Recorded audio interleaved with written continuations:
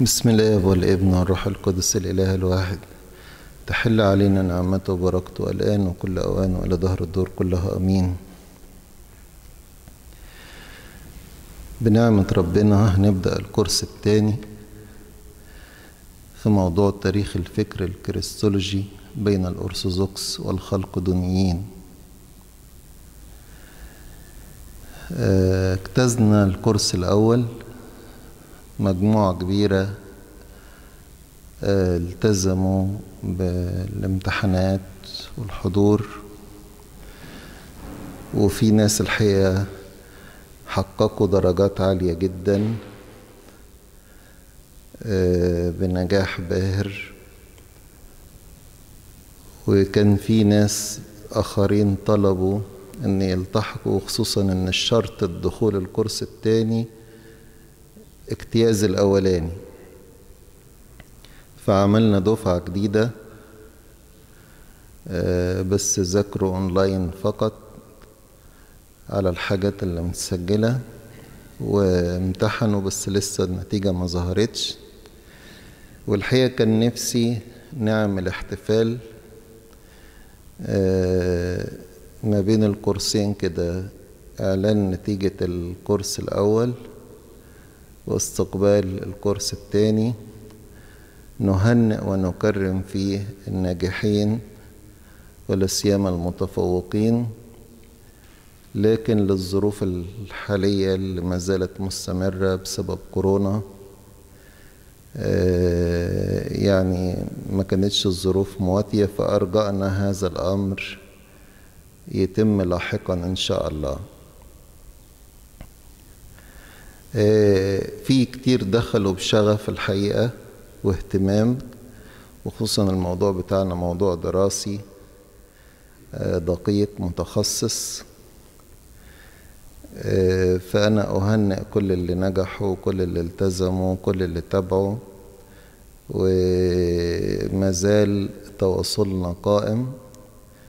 وفي الأسئلة برضو تتبعت مباشرة ممكن نشوفها في نهاية المحاضرة.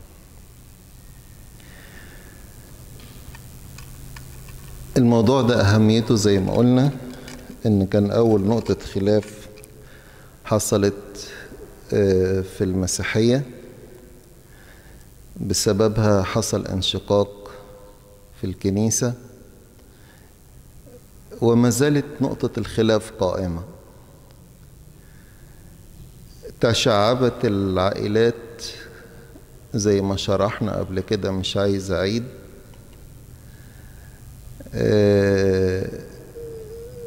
لكن في نقط أضيفت عند البعض لكن ما زالت نقطة الخلاف الرئيسية الأساسية ما زالت قائمة.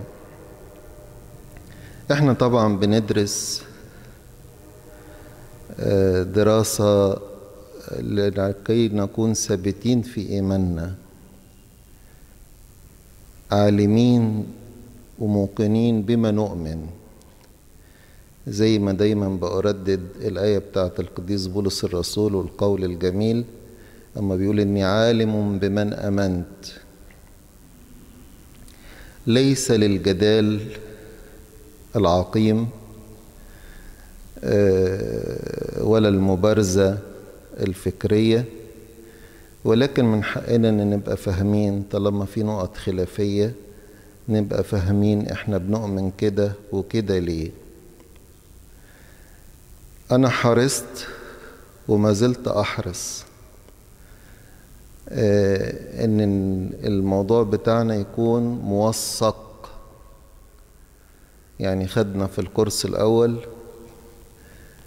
مقدمة عامة وبعدين دخلنا في نقطة جوهرية اللي هي مصالحة 433 حرصت كل الحرص أن تكون كل شواهدنا من الآباء ولا سيما من صاحب الشأن القديس كورولوس نفسه هو اللي يتكلم ويقول إيه اللي حصل بالضبط فيها.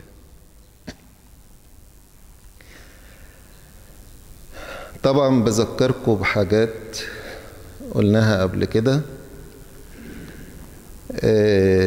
قلنا إن فكر الكنيسة الأرثوذكسية منذ البداية ثابت راسخ فيما يخص ربنا يسوع المسيح إن هو الإله المتجسد كامل في لاهوته وكامل في ناسوته.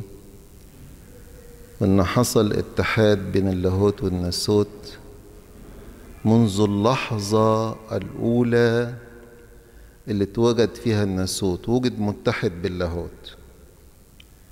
هذا الاتحاد اتحاد طبيعي واتحاد أقنومي وبالتالي يكون ربنا يسوع المسيح هو الإله المتجسد زي ما بنقول كامل في لاهوته وكامل في ناسوته طبيعة من طبيعتين وأقنوم من أقنومين هو واحد طبيعيا وأقنوميا بدون اختلاط ولا امتزاج ولا تغيير حدث الاتحاد فهو له طبيعة واحدة ولكنها طبيعة مركبة تجمع كل خصائص وصفات الطبيعتين اللاهوتية والناسوتية. ولكن من بعد الاتحاد لا نتحدث إطلاقا عن طبيعتين. نتكلم عن طبيعتين لما نقول من طبيعتين. حدث اتحاد من طبيعتين لكن زي ما بيقول القديس كورولوس بمجرد ذكر الاتحاد لا نتحدث إلا عن طبيعة واحدة هي طبيعة الإله المتجسد. وإزاي شرح الكلام دوت؟ قال إحنا نقدر نميز ذهنيا. الطبيعتين لما نيجي نشرح كيف تم الاتحاد لأن ما كانش فينا صوت قائم. نسوت وجد في الاتحاد. فبعين الذهن بنتخيل اللحظة اللي هي صفر من الزمن اللي حصل فيها الإيه؟ اللي ذهنيا نميز. لما نيجي نشرح كيف تم الاتحاد لأن ما كانش فيه اتنين واتحدوا. لا ده الناسوت وجد متحد في اللاهوت. لكن بمجرد ذكر الاتحاد تبطل الاثنينية تماما. هو واحد ولكنه هو الإله المتجسد. يجمع كل الخصائص الطبيعية والأقنومية للاهوت والناسوت. وإزاي إن أبائنا شرحوا هذا الأمر وإدوا أمثلة ليه؟ باتحاد الحديد بالنار أو الفحم بالنار. وادينا فكرة عن الخلفية الفلسفية في العصر الأول المسيحي إن كان في مدرستين كبار مدرسة الإسكندرية ومدرسة أنطاكيا. وقلنا إن مدرسة الإسكندرية كانت متأثرة بفلسفة أفلاطون الميتافيزيقي وبالتالي كان ذهنهم مهيأ. ما يتكلموا على الأمور اللاهوتية بما إنها أمور ميتافيزيقية. لا يخضعوها للمقاييس والحسابات المادية المحسوسة. بعكس مدرسة أنطاكيا قلنا كانت متأثرة بفلسفة أرسطو الواقعية فهذه الفلسفة أو هذا المنهج يصلح للعلوم التجريبية الطبيعية ويخضع للقياسات والحسابات المادية المحسوسة. في الكيمياء والهندسة وما إلى ذلك. وهنا كان الخطأ إن فكروا أو حبوا يفهموا الاتحاد بين اللاهوت والناسوت. فالخلفية الفكرية بتاعتهم فبدأوا يحاولوا يفكروا فيه كما إنه الاتحاد كيميائي. وادينا تشبيه إن زي التكافؤ العناصر كده. إن ما ينفعش عنصر يتحد مع عنصر إلا لو كان ناقص إلكترون أو زايد إلكترون عشان يكملوا مع بعض في المدار الخارجي. لكن لو في المدار الخارجي كامل ما يحصلش اتحاد. كامل مع كامل ما يبقاش اتحاد. آه ومن هنا وقعوا في هرطقات كتيرة. لدرجة من عندهم أنفسهم. أحد العلماء يسمي أرسطو أبو الهراطقة وكل الهراطقة اللي ظهروا في هذا الموضوع كانوا تابعين للمنهج والفكر بتاع مدرسة أنطاكيا بما فيهم أريوس. رغم أنه كان كاهن يعني في من ليبيا لكن درس بحسب مدرسة أنطاكيا. وجاء أبوليناريوس أقر بالاتحاد زي الكنيسة ما بتقول اتحاد حقيقي لكن بحسب الخلفية الفلسفية بتاعته لازم يبقى في حاجة ناقصة. فقال اللاهوت طبعا مش هيقدر يقول اللاهوت ناقص. فقال الناسوت يبقى اللاهوت حل محل النفس الإنسانية أو الروح الإنسانية. وبالتالي يبقى الناسوت مش كامل أو ناقص وتبقى طبيعة مش يعني لا تمثل البشرية. وحصل نوع من الإمتزاج.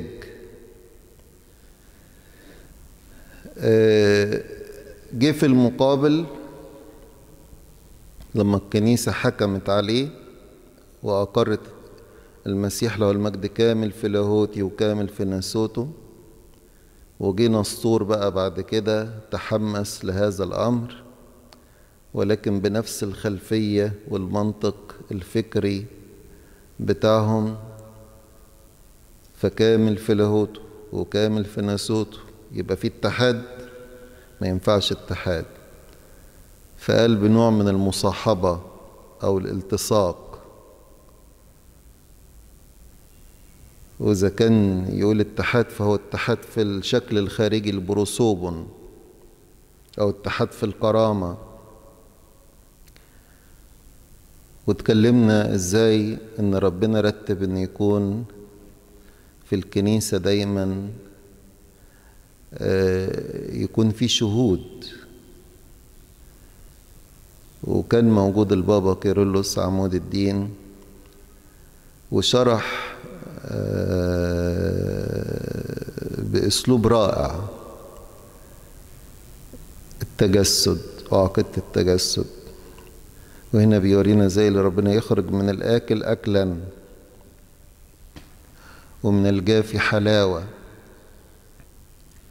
فأحيانا بتبقى الحاجات دهيت بتخرج لنا روائع جميلة وشروحات بتفصيلات. عميقة حلوة. بروح المحبة القديس كورولوس قاد الكنيسة كان الكل بيلتجأ له مش هو اللي نصب نفسه قائد ولكن وضعه وعلمه ومعرفته ومكانته فالكل بدأ يلتجئ له وبدأ يشرح كتب رسائل بروح أخوية لنصور لكنه لم يتراجع. وصار اضطراب كبير في القسطنطينية وما حولها بسبب هذا الفكر. وبالتالي قال يبقى العذراء ما هيش والدة الإله لأنها ولدت الناسوت بس. آه لكن إحنا لأننا بنؤمن بالاتحاد لأن المسيح له المجد اتولد هو الإله المتجسد. فاللي اتولد منها هو الإله المتجسد صحيح مصدر الناسوت منها بالروح القدس. لكن في حالة اتحاد زي بالضبط أبائنا شبهوا الإنسان مننا بيتولد طبيعتنا فيها روح وجسد. الجسد بناخده من الأب والأم والروح من الله لكن ما نقدرش نقول دي أم الجسد لا بنقول أم فلان على طول كله روحا وجسدا. القديس كورولوس والقديس ديسكوروس شرحوا بكده. وعرفنا إن إزاي إن النصور لم يتراجع. وكان وراه مجموعة من زملائه وقرايبه لهم نفس الفكر ولهم نفس المنهج بتاع مدرسة أنطاكيا. طبعا لما أقول مدرسة أنطاكيا مش معنى كده إن كان كل اللي في الشرق كده بالعكس. كان فيهم ناس كتير متمسكين ويرفضوا تماما هذا الفكر. وهم اللي بدأوا يشتكوا ويقولوا إن بيعلم بتعليم غريبة. واشتكوا للقديس كورولوس مما اضطر الإمبراطور لما شاف القلق اللي موجود إن يأمر بعقد مجمع مسكوني وأسند الرئاسة فيه للبابا كيرلس عمود الدين. أنا طبعا أنا بقول للتذكرة مش بشرح بالتفصيل يعني. وعرفنا إزاي إن زملاء نصور من كرسي أنطاكيا. هو كان بطرك القسطنطينية لكن هو درس في مدرسة أنطاكيا. فكان أسقف أنطاكيا أو بطريرك أنطاكيا يوحنا الأنطاكي ومعاه مجموعة. على رأسهم واحد قلت لكم تخلوا بالكم من اسمه قوي. مين؟ نعم؟ لا شاطرين سؤدوريتوس وده القزن بتاع نسطور تعمدوا إن هم يتأخروا ما يجوش في ميعاد المجمع. وفي الآخر خالص بعتوا مرسال قالوا لو اتأخرنا ابدأوا أنتوا. بعد أيام طويلة. فالمجمع اجتمع نسطور رفض الحضور ولكن كتاباته موجودة وأقواله موجودة. فالمجمع درس هذه الأقوال ودرس كتابات القديس كورولوس وردوده عليها فأقر تعاليم القديس كورولوس ولا سيما الرسالة التي تحوي البنود الاثني عشر. اعتبرها أساس للإيمان. واتحكم على نسطور أول لما اتحكم عليه وصل يوحنا وسؤدوريتوس ومن معهم وانتوا عارفين الحكاية عملوا مجمع أهانوا فيه البابا كيرلس بشدة. مش عايز أعيد كتير لكن في النهاية آه الإمبراطور اعتمد قرارات مجمع أفسس وصار يوحنا ومن معه شبه أو مش شبه بالفعل مقطوعين من شركة الكنيسة لأن هم لم يقبلوا قرارات مجمع أفسس. إن حتى لو جم متأخرين ممكن كانوا يدخلوا زي ما قال القديس كورولوس قال لو كان هم نيتهم عايزين يعني آه الحق حتى لو جم متأخر يجوا يدرسوا القرارات وحيثياتها ويناقشوا. لكن ما عملوش كده. انفض المجمع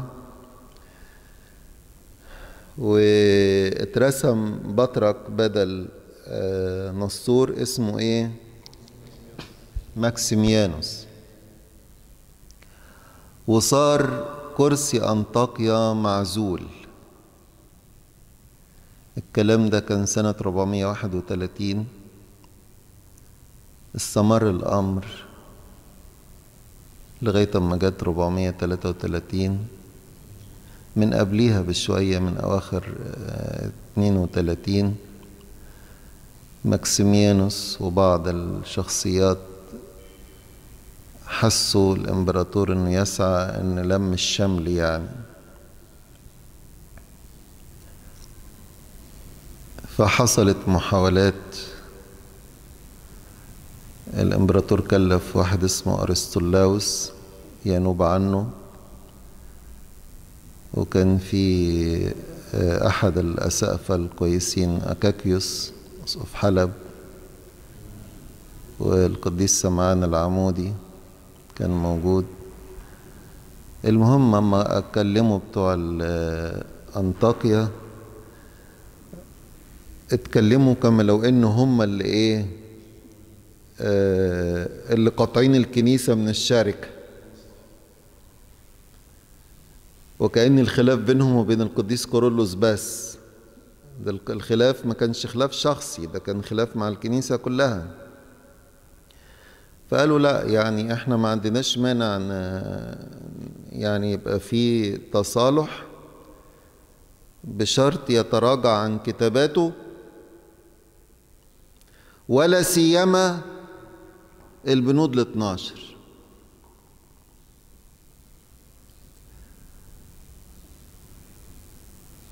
طبعا البابا كورولوس لما كان في أفسس اتهان واتبهدل كتير وتعرض لافتراءات كثيرة. لما راحوا الرسل ليه أو بعتوا له قال لهم رغم الإساءات الكتيرة والإهانات لكن من أجل السلام سأتنازل من أجل الله عن كل ما لحق بي من إهانات قاسية. ولكن طالما يقروا بقرارات مجمع أفس. فبلغوه وقالوا له بس هم قالوا إنك بس يعني تتنازل عن إيه؟ كتاباتك وآرائك. وهم قال هم عايزين يصلحوا ولا بيضيفوا؟ يعني وقود أكتر أو إساءات أكتر. قال لهم إزاي تنازل عن كتاباتي وهي كتبت بحق؟ ما بقتش كتاباتي ده المجمع أقرها. لها قوة المجمع المسكوني. ما هيش حاجة شخصية. فقال لا يعني كل الإساءات ممكن أتنازل عنها لكن بشرط يوقعوا على قرارات مجمع أفسس اللي هي مبنية على كتاباته وبالتالي أن يقروا أن كتاباته حق ويقروا بعزل نسطور وبأن العذراء هي والدة الإله وأن ماكسيميانوس يعتمدوه بطرك القسطنطينية بدل نسطور طبعا لما راحوا كده ارتبكوا وكلامه منطقي والإمبراطور نفسه بعت الارسطولاوس إن الصلح يتم على أساس يخضعوا لقرارات مجمع أفسس. فقال لهم هو متنازل عن كل ما يخص الإساءات الشخصية لكن الشروط كذا كذا كذا.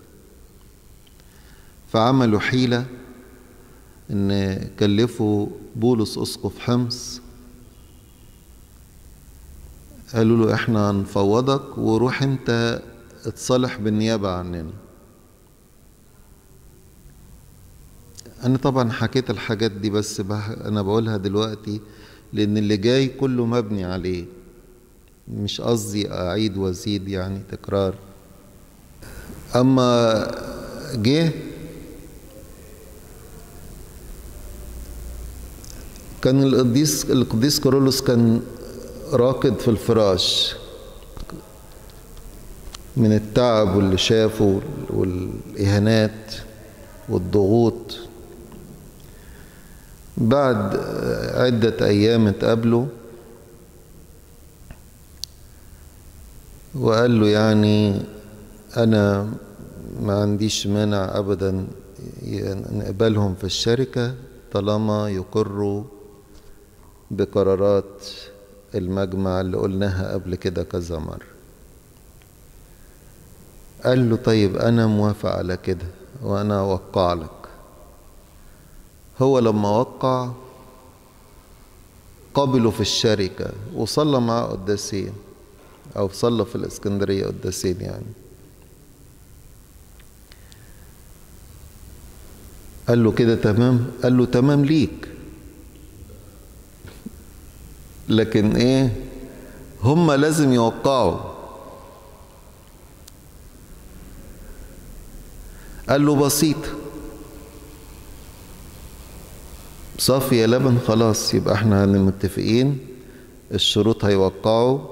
المجمع قراراته سليمة اللي هي مبنية على كتابات القديس كارولوس اللي هي على أساسها اتعزل نصور ومكسيميانوس يجي بداله والعذراء والدة الإله وهكذا. قال له قوي. تؤمر بحاجة تاني؟ قال له لا. طب تديني قال له لا أنا هبعت اتنين معاك يعني بجواب الشركة. قال له خلاص كده يبقى تمام.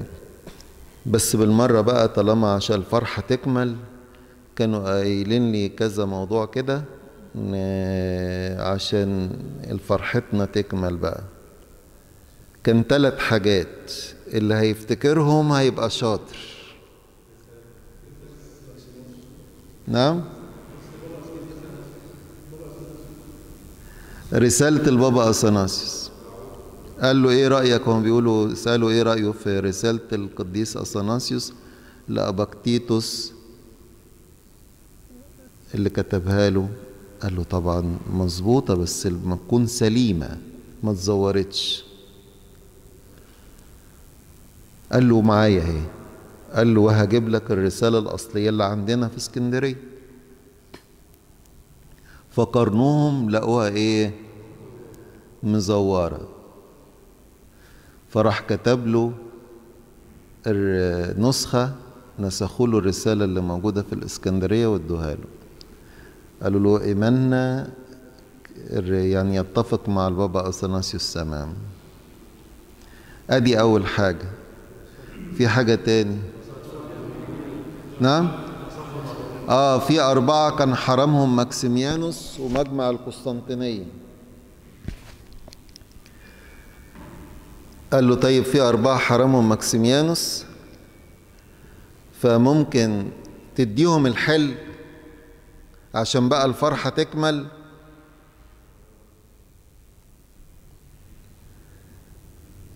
إزاي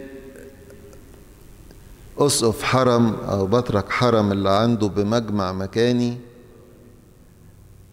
وأنا أديهم الحل. ولا سيما لما اتعاقبوا لاخطاء قوانين الكنيسة لا تسمح.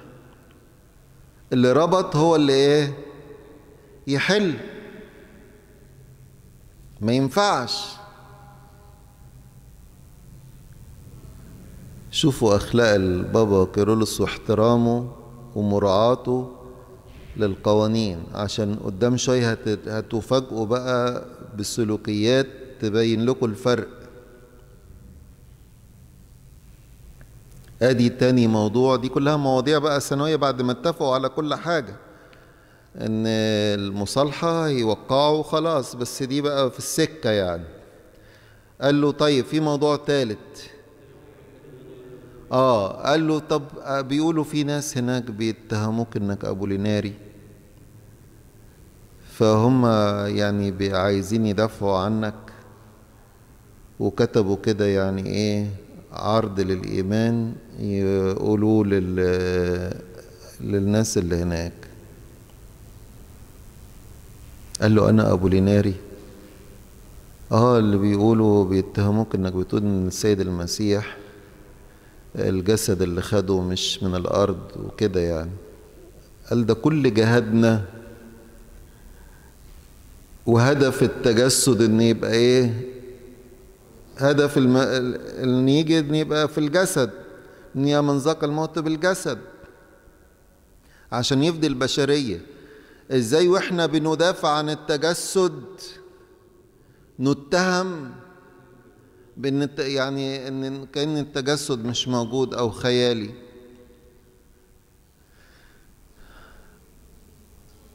فقرا عرض الإيمان لقى في بعض كلام كويس. إن العذراء والدة الإله خير وبركة. إن حصل اتحاد بين الطبيعتين كويس. لكن نتيجة الاتحاد ما تقالش وبعد كلام كده وصفوا القديس كورولوس ببعض العبارات الغامضة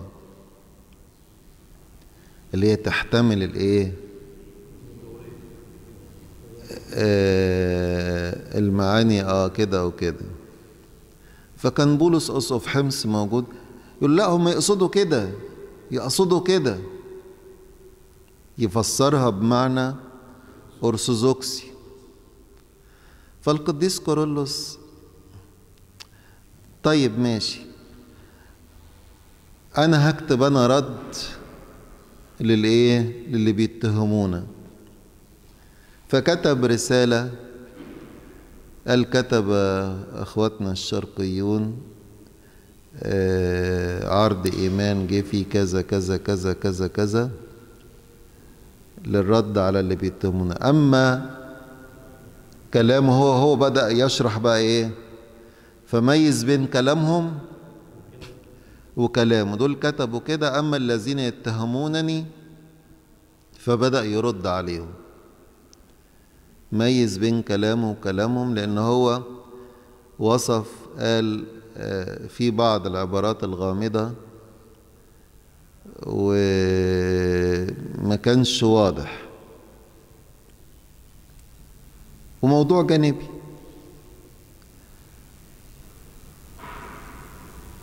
فحجة إن ناس بيتهموه بالأبولينارية كتب هو رد عليهم. يبقى دي التلات إيه؟ تلات نقط. لم يعتمد اللي هم قالوه كتب أدبيا بولس أصف حمص فسر اللي موجود بطريقة أرثوذكسية خلاص بس ده خاص بيكوا أنتوا. راح الاتنين هناك ارتبكوا قعدوا يمكن يومين وبعدين أرسطلاوس قال لهم هو حاجة من الاتنين لا هتوقعوا؟ لا إما هطلع على الإمبراطور أقول له إن في الإسكندرية مفيش مشكلة بتوع الشرق هم اللي, اللي معطلين السلام. فيوحنا وبعض الأساقفة وقعوا على شروط مجمع أفسس ودخلوا في الشركة وتاخدوا بالكم اللي هقوله ده بقى. بعد ما حصل كده القديس كيرلس بعت رسائل ذكر فيها اللي حصل. اللي أكتر من كده يوحنا الأنطاكي بعت رسالة لأسقف القسطنطينية ماكسيميانوس وبعت لأسقف روما وللبابا كيرلس برضه. رسالة حدد فيها اللي حصل في تحقيق السلام. لم يذكر لا من قريب ولا من بعيد أي شيء آخر خلاف اللي إيه اللي حصل ده. البابا كيرلس فرح وبعد كده فوجئنا زي ما حكينا قبل كده بالإدعاءات إن القديس كيرلس دخل في صلح لأنه تنازل عن كتاباته ولا سيما البنود ال 12 وإن قبل صيغة يوقع على صيغة إيمانية جديدة تتفق مع إيمان الشرقيين. طبعا الموضوع ده شرحناه المرة اللي فاتت لكن بنجمله في بعض نقط القديس كارولوس قالها بنفسه قال لم نقبل بيانا من أحد. ولم يطلب منا أحد بيانا للإيمان. ما طلبش مننا بيان جديد. ولم نقبل بيانا إيه؟ من أحد. يعني حكاية صيغة إيمانية دي مين اللي بيقول كده؟ القديس كيرلس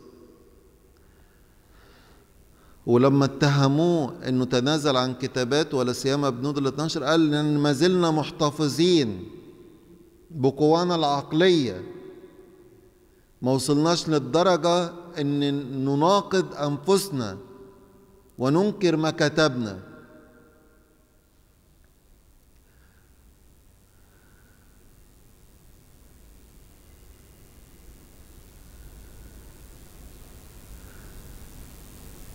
وبالنسبة لعرض الإيمان بقى اللي كتبوا الشرقيين قال كتب الشرقيين وقالوا كذا كذا كذا ثم أضافوا خلسة بعض التعبيرات التي تظهر أنهم لم يكونوا أنقياء تماما من هزر نسطور وبعدين لما أحد الأحباء بعت له رسالة بيقول جايب فيها مقطع من عرض الإيمان ده فرد على قال ده كلامه هو على يوحنا الانطاكي كلامه هو مش كلامي أنا. فده موقف القديس كورولوس من ادعاءاتهم إن في صيغة إيمانية اتكتبت. وكتب رسائل وضح فيها الأمر والعقيدة تماما وخصوصا حوالي خمس رسائل لفاليريان وأولوجيوس وساكسنسوس وأكاكيوس أسقف ميليتن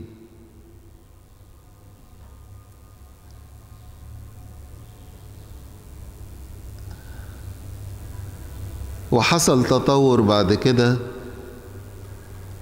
فضل الادعاءات دي شغالة. وبعد كده في تعليم نصور ماشية برضو. فجه الامبراطور سنة 435 قال أي حد ما وقعش على قرارات مجمع أفسس هياخد قرار حاسم بعزله. ففي الناس اللي ما كانوش وقعوا وما كانوا لسه ما زالوا بيخدموا والامبراطور مطول باله عليهم. قالوا خلاص هنوقع فجه القديس كورولوس بقى قال لا مش كده وبس. صاغ بقى المرة دي بحق وحقيقي بيان إيماني صرح فيه بالطبيعة الواحدة. وخلاه شرط لقبولهم في الشركة. خلصوا من كده بدأوا يحيوا كتابات سيودور وديودور أساتذة نصور باعتبار إن ما كانش صدر حكم ضدهم. وبرضه القديس كورولوس قاوم هذا. كان الحقيقة الفترة اللي قضاها في حياته كلها كانت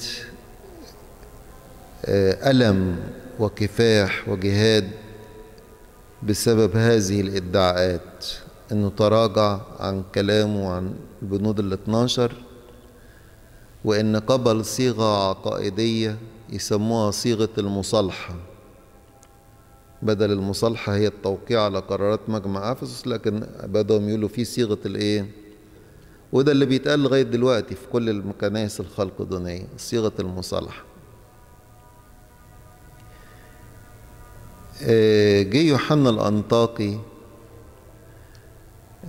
مات سنة 442 ابن أخوه اغتصب الكرسي. ومين أيده؟ سؤدوريتوس وبقى مين بقى المتحكم في المنطقة كلها؟ سؤدوريتوس لأن ديمنوس دوت شخصيته كانت ضعيفة وعمل اللاية لسؤدوريتوس في أنطاكيا. وكان يناديه يقول له يا أبي فأبوه بقى اللي هو سؤدوريتوس كان هو الإيه؟ المهيمن تماما.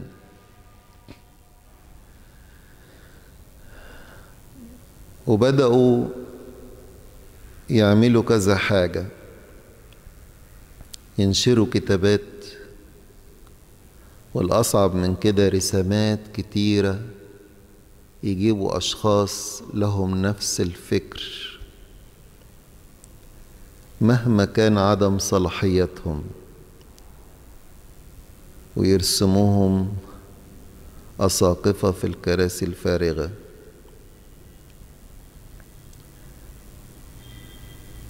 آه القديس كيرلس في 444 آه رحل وانتقل من هذا العالم الفاني بعد جهاد كبير ولكن ترك تركة ثقيلة للبابا ديسكورس من بعده. القديس كيرلس وهو عايش كان بدأ يعاني من هذا. ليه؟ لأن رسمه كان فيه أسقف في الرها اسمه رابولا القديس. انتقل فدمنس مشهور السؤدريتوس رسم واحد اسمه هيبة. هيبة ده كان ضد رابولة تماما. وكان أصعب من نسطور وكان يطبع كتب سيودور وديدور وينشرها. رابولة كان حرقها. لكن هيبة ده كان ماسك المدرسة بتاع الرها وينشر الكتب دي باللغة السريانية. وكتب رسالة مشهورة لماريس.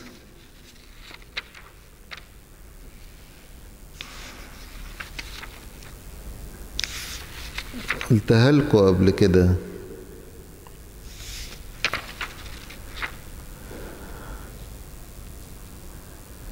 اتهم فيها البابا كيرلس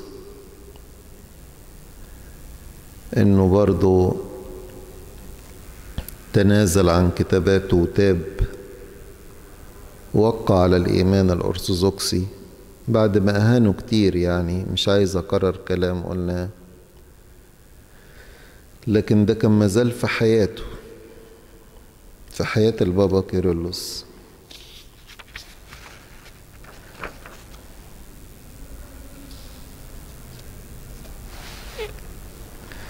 هقرأ لكم حاجات قلناها بس أنا لأن الشخصيات دي خلي بالكم لازم الهيستوري بتاعها يكون معروف عشان لما قدام شوية يبقى في موقف يبقى معارفين الموقف مش من فراغ.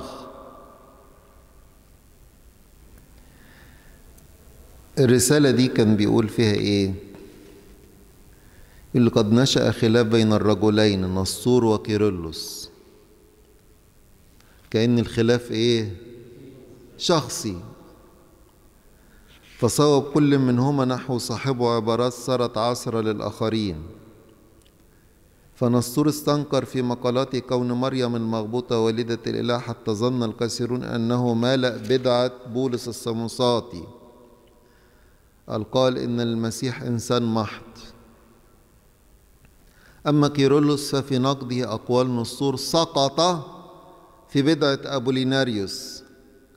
ذلك أنه ماثل بالقول. أن الله الكلمة صار جسدا دون أن يميز بين الهيكل, بين الهيكل والساكن فيه. وكتب اثني عشر فصلا أثبت فيها طبيعة واحدة للاهوت ربنا يسوع المسيح ونسوته وأنه لا يجب التمييز بين أقوال ربنا عن نفسه أو أقوال الإنجيليين عنه. فكم من نفاق يتخلل هذه الأقوال؟ ده هيبة بيتكلم على مين؟ على البابا كيرلس فالكنيسة كما تعلم بيخاطب ماري الفارسي أو ماريس الفارسي. وفقا لأقوال الآباء بطبيعتين وبقوة واحدة وفرصوف واحد. الفرصوف اللي هو شخص أو أكنوم الذي هو ابن واحد الرب يسوع المسيح. ولحسم الخلاف أمر الملوك رؤساء الأساقفة بعقد المجمع الأفسسي لفحص أقوالهما. برضو بيخليك كأن إيه؟ خلاف بين اتنين. وقبل وصول جميع الأساقفة ويوحنا الأنطاقي إلى أفسس عزلوا نسطور عن الأسقفية دون محاكمته. يعني ما يقولش انتظروا يوحنا اتأخر. لا ده كأنهم تعجلوا قبل ما يوصل المغالطات التاريخية كتيرة حتى. وبعد يومين من عزله وصل هو والآخرون إلى أفسس ولما علموا أن فصول كيرلس الاثني عشر المضادة للإيمان القويم قد جعلت أساسا للإيمان القويم في عزل نسطور عشان كده بقول لكم كتابات قبول مجمع أفسس بمعناته قبول كتابات القديس كورولوس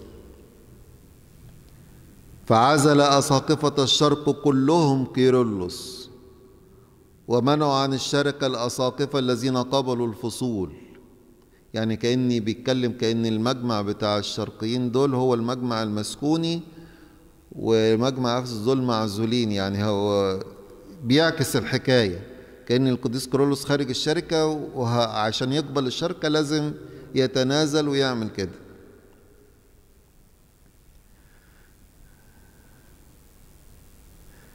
ومنعوا عن الشركة الأساقفة الذين قبلوا الفصول. طبعا اللي قبلوا الفصول أساقفة مجمع أفسس كلهم. ثم عاد كل إلى مقره عاد نسطور إذ كان يكرهه أعيان المدينة وأهلها. وظل الشرقيون لا يشتركون مع الأساقفة الذين وافقوا كيرلس ما يقولش مجمع أفسس. بل صار الواحد عدوا لصاحبه. وقد تطاول الطاغية مطران الرها الم... مطران الرها يقصد رابولة بحجة الإيمان على أن يحرم في الكنيسة علنا حتى الراقدين ومنهم سيودور المصيصي المغبوط وكاروز الحق ومعلم الكنيسة ذو الإيمان الحق الإيمان الحق. عشان كده بقول لكم اوعوا تفتكروا إنه كان كل انطاكيا كده بالعكس. إحنا أقرب كنيسة لينا كرسي أنطاكيا وكان في قديسين كتير زي رابولا اللي بنقول عليه دلوقتي. ومنهم سيودور المصيصي المغبوط وكرز الحق ومعلم الكنيسة ذو الإيمان الحق الذي ترك لأبناء الكنيسة سلاحا روحيا في مصنفاته وكتب ليست غريبة عن الإيمان الحق. ثم أوفد الملك من الملك من بلاطه رجلا عظيما شهيرا ليلزم القديس ومحب الله يوحنا. أسقف الشرق بمصالحة كيرلس. شوفوا بيتكلم على المصالحة إزاي. إذا وافق على هذا الإيمان. يعني يصالحه إذا وافق على إيه؟ وحرم القائلين بتألم اللاهوت وبوحدة طبيعة اللاهوت والناسوت. الملك بعت له يتصلح معاه إذا وافق يعني كأن كورولوس هو المحروم ويوحنا اللي هي فلنا قلب المصري شوفوا الفرق في الأدب. أبانا لما يقولوا يقولوا الورع التقي الخائف الله. مصر دي كانت عاملة لهم عقدة. فلنا قلب المصري على القديس كيرلس قبل الإيمان. وحرم جميع الذين يؤمنون بعكس ذلك. يعني القديس كورولوس قبل الإيمان بالطبعتين وحرم كمان مش قبله بس اللي يقول خلاف ذلك. فزال الخصام والآن تتمتع الكنائس بالسلام. أما الذين تطاولوا على الأحياء والأموات فهم يتعثرون بأزيال الخجل ولا يجرؤ أحد على القول بوحدة طبيعة اللاهوت والناسوت ولكنهم يعترفون بالهيكل وبالساكن فيه ابن واحد يسوع المسيح. طبعا أما نوجز النقط الرئيسية اللي في الرسالة دي لأن الرسالة دي خطيرة وكان ليها ملحق حتى عندهم في المجمع الخامس. أولا يتهم القديس كارولوس بالسقوط في بدعة أبوليناريوس لأنه قال بطبيعة واحدة للإله المتجسد. إن عندهم طبيعة واحدة يبقى أبوليناري. مهما قلنا كامل في لاهوتي كامل في ناسوتي لأ. بس في الاتهام ده ده تعليقي أنا. وفي اتهام خصوم البابا كيرلس له بذلك. إنه قال بإيه بالطبيعة الواحدة. رد على الخلقدونيين الذين يدعون بأن القديس كيرلس كان يقصد الأقنوم الواحد وليس الطبيعة الواحدة. انهم ده القديس كيرلس كان يقول بطبيعة واحدة يقول لا ده يقصد الأقنوم مع ان اللي في معاصرينه منهم عارفين إنه يقصد الطبيعة. إقرار هيبة بأن ربنا يسوع المسيح أقنوم واحد بطبيعتين وهي نفس العقيدة التي تكررت في مجمع خلق دنيا بعد كده.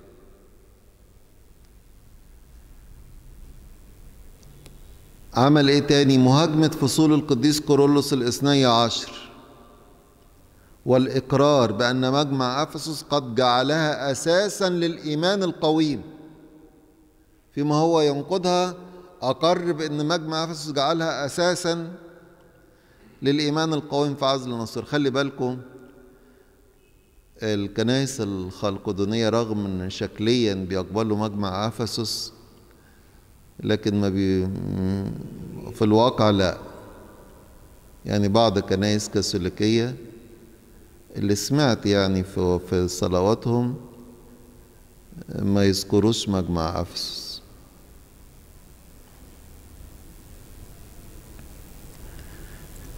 مهاجمة مجمع أفسس هو هجمه صراحة. مهاجمة رابولا لأنه قاوم تعليم سؤدور وديودور المنحرفة الادعاء بأن مصالحة ده دي كلها الحاجات اللي وردت في الرسالة.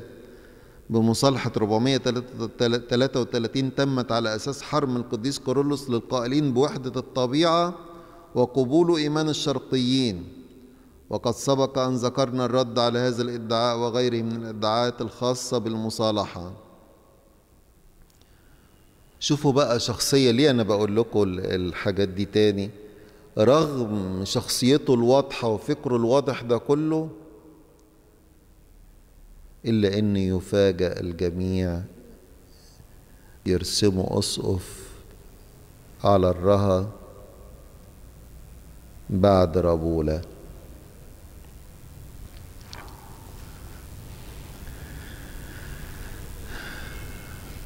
لدرجة إني بعض العلماء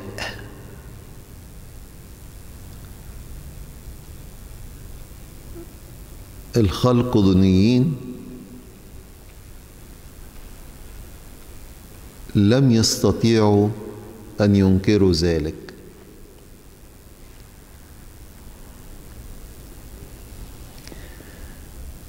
في أحد العلماء اسمه الأستاذ يوحنا رومانيدس قال فسؤدوريتوس تلقى عونا كبيرا في أنطاكيا. وازدادت النشاطات المؤيدة لنستوريوس ازديادا خطيرا. ومن الواضح أنه تحت تحريض سؤدوريتوس رسم عدد من النساطرة أساقفة بما فيهم إيريناوس الكنت النسطوري المتعصب والرديء السمعة والمتزوج مرتين. ده مين اللي بيقول كده؟ يوحنا رومانينوس وده يعني أستاذ في كنيسة الروم.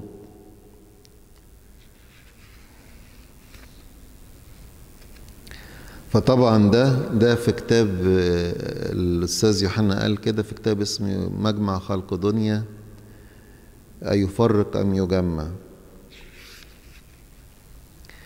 ولما جه يرسمه بروكلوس كان لسه عايش بطرك القسطنطينية عام 435 تنيح القديس رابولا مطران الرها. فقام يوحنا الأنطاكي برسامة هيبا خليفة له ومعروف بنسطوريته وعداء للقديس كيرلس. ولما أخبر بروكلس أسقف القسطنطينية بأمره لفت إليه انتباه يوحنا. قال له أنت بتعمل إيه؟ أنت مش عارف ده مين وكتب إيه؟ ولكن لم يأخذ بهذا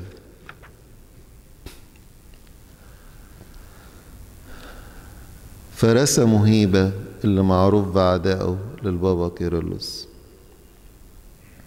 طبعا هيبة دوت أنا أحيانا يا جماعة برضو خلي بالكم ممكن بحاول أمشي بالتسلسل التاريخي في الفكر والأحداث لكن أحيانا لما بكون ماسك شخصية معينة فعشان أربط بين عمايله بننط ونرجع تاني يعني للربط بس. دي نقطة. نقطة تانية عايزكم تاخدوا بالكم منها.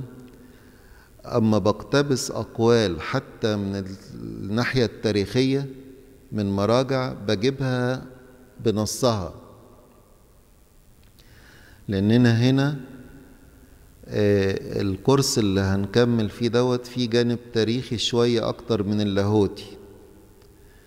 ولكن نقط خلافية في الرواية التاريخية يختلف الخلقدونيين عن عننا. فبحاول أستشهد بمراجع تخصهم كتير. فبجيبها بنفس كتاباتهم. حتى في الباوربوينت ممكن تلاقوا الأسماء. ممكن حد فيكم يفتكر إنها أخطاء إملائية مش أخطاء. ده أنا جايبها زي إيه؟ زي ما هي. درجة مرة أحد الأحباء كده خد يكتب افتكر إن أخطاء إملائية راح آه. لكن دي إحنا آه بتعمد أسيبها في يكتبوا مثلا ديمنوس زمنوس مثلا. كيرلس يكتبوها لام لام. وهكذا بسيب كل حاجة بشكلها وخطأها أو يعني بالنسبة لنا يعني. على أساس بنوثق الأحداث بصورة دقيقة لأن ممكن هنقول كلام يبدو للبعض كغريب. لكن أنا بستشهد بيه أكتر ما هستشهد باللي عندنا هستشهد ببعض الكتابات الأخرى اللي تتفق مع رواياتنا مما يثبت إن فكرنا ورواياتنا وسجلاتنا التاريخية أصدق وأح... وأصح. طبعا هيبة بمجرد ما اترسم آه ما وقفش كده. جاب ابن أخته اسقف لحران اللي هو سماه دانيال. وابن عمه صفرون أيضا أسقفا لتل موزل. وده كان يعني منجم ويعني وفاسد.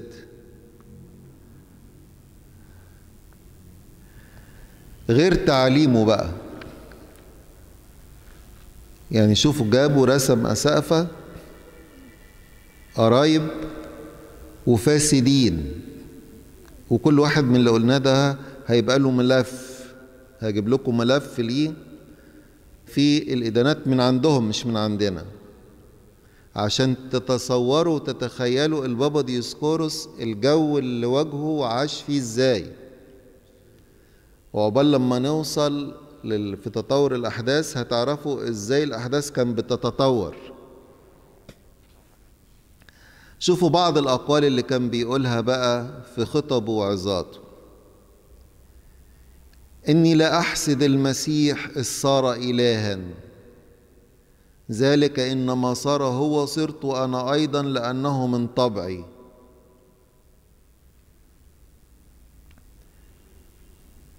إن الله الكلمة بمعرفته السابقة علم أن المسيح سيتبرر من أعماله ولذلك سكن فيه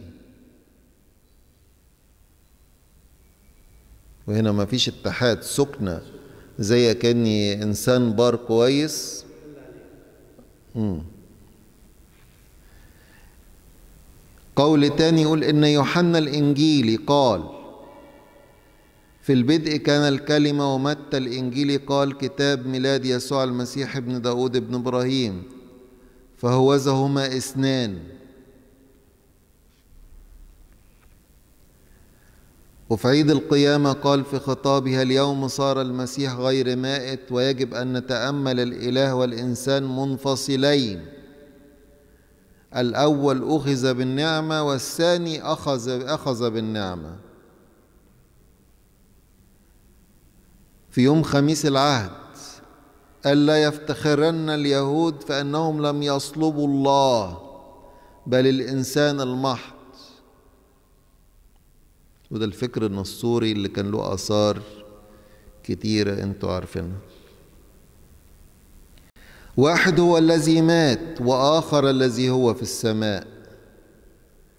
واحد هو بلا بداية والآخر له بداية.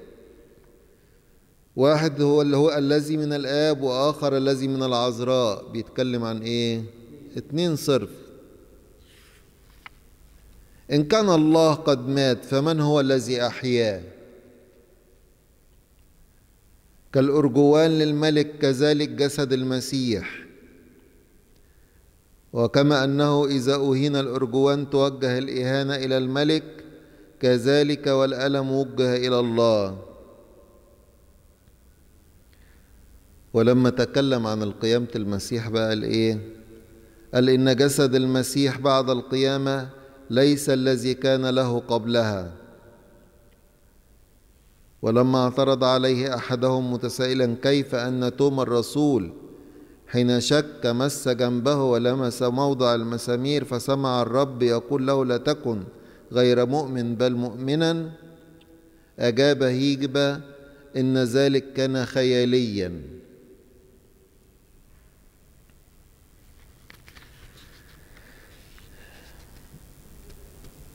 دي يعني الحاجات بعض تعليم اللي قالها إيه؟ هيبة. بعد ما جه دمنس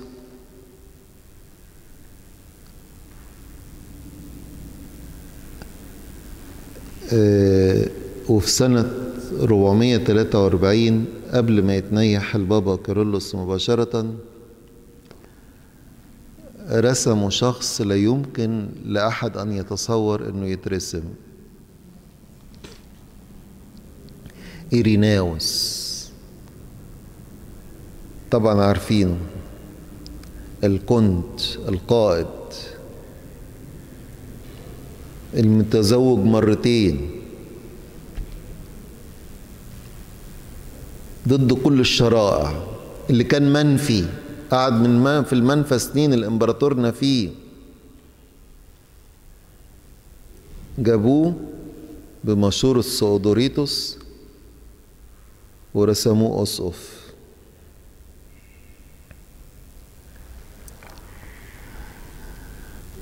أسقف على سور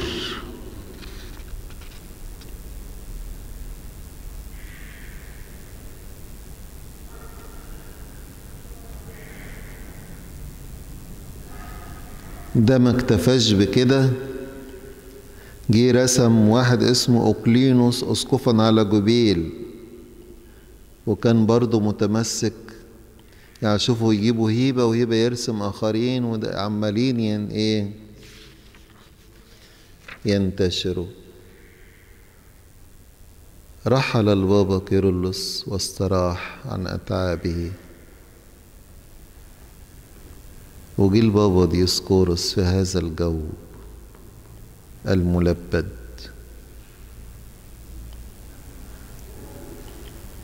كان موجود بقى ثيودوريتوس هو المتزعم الفعلي ودمنوس المغتصب للكرسي ذو الشخصية الضعيفة وهيبا اللي شتم القديس. أنا طبعا لما تنيح البابا كيرلس أنا يمكن قلت لكم المرة اللي فاتت. هيبا وثيودوريتوس حتى الموت ما كانوش مؤدبين. ثيودوريتوس يقول أخيرا مات الفرعون. الأشرار بيت عمرهم بيطول ليه كده؟ مع أن البابا كيرلس كان حوالي سبعين سنة. قال الأشرار عمرهم إيه؟ بيطول وأهانوا. جه البابا ديسكورس هو شايف كل حاجة. وعارف كل حاجة. أول لما جه على الكرسي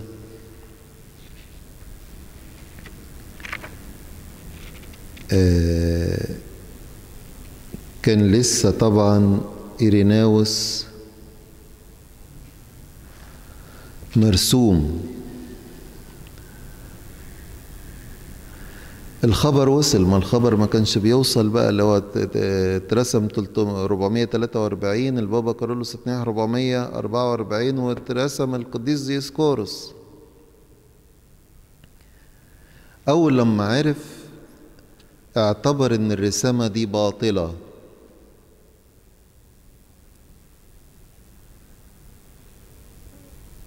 ففي أحد المراجع اللي هو تاريخ كنيسة أنطاكيا يقول إيه ثم علم ديسكورس بأن إيريناوس شرطن أسقفا على صور فطالب زمنوس زمنوس أنا مش بقولها غلط هو مكتوبة كده بس بقولها بنصها. إبطال انتخابه وشرطونيته بعت لدمنس قال له دي رسامة باطلة مخالفة للشرع الكنسي.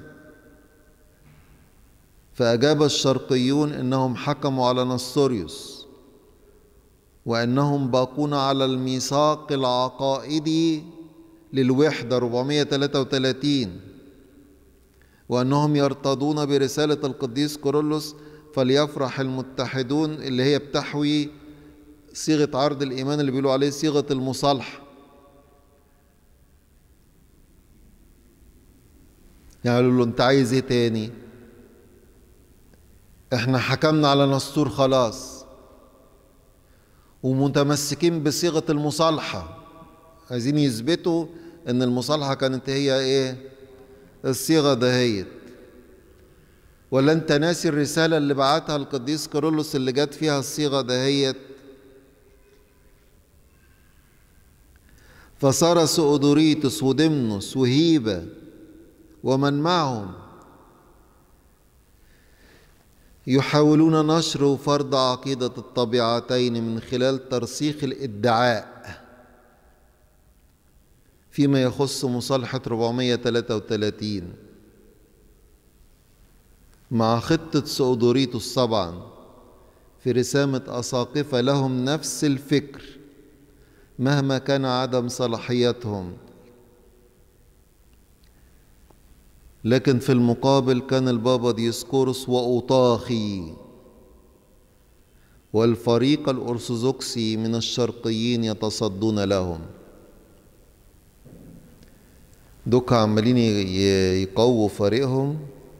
ثيؤدوريتوس دمنوس هيبا وهيبا رسم اتنين. وإريناوس وإريناوس رسم واحد والبقية تأتي يعني.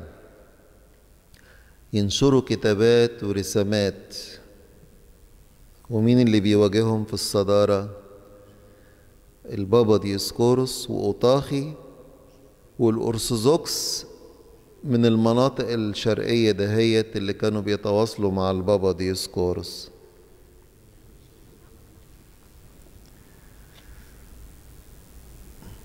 يعبر عن كده بقى شوفوا من كتابهم هم.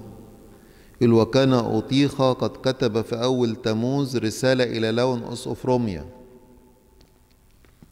أول لما لون جه أوطاخي بعت له لون أسقفروما يقول فيها إن هرطقة نصوريوس عادت تنتعش بسبب سلوك البعض. عانيا إيريناوس وإيفا فأجاب أسقف روميا بالثناء على غيرته وعبر عن رجائه بأن السيد سيعضد دائما الإيمان المستقيم. كان لسه لاون سودوريتوس ما تواصلش معاه ولا الشرقيين بدأوا يتواصلوا معاه. فأيد مين؟ أوطاخي دي برضو في كتاب تاريخ كنيسة أنطاكيا لخريسوستوموس بابادوبلوس مكتوب النصوص كلها. لون رد على أوطاخي سنة 440 يقول كتب لاون أسقف روما رسالة إلى أوطاخي يؤيده فيها في جهاده ضد هرطقة نسطور الكلام ده جه في كتاب اسمه مضمون المجمع الخلقدوني. مضمون المجمع الخلقدوني. في الباب الأربعتاشر لو الصفحة دي خاصة بي أنا اللي مرقمها. الكتاب ده مرجع قيم جدا. كتاب اسمه مضمون المجمع الخلقدوني. ده نشرته نشره روما أول لما اتعملت مطبعة باللغة العربية سنة 1694 في روما. وبعتوا نشروه في مصر هنا. كان ساعتها في فترة البابا يؤنس مش فاكر ال 18 ولا ال 17 مش فاكر معلش يعني سامحوني إذا كان بعض التواريخ بت بتتوه مني شوية. ويمكن كان في حياة الأنبا يساب الأبح الكتاب ده جاب نتيجة عكسية.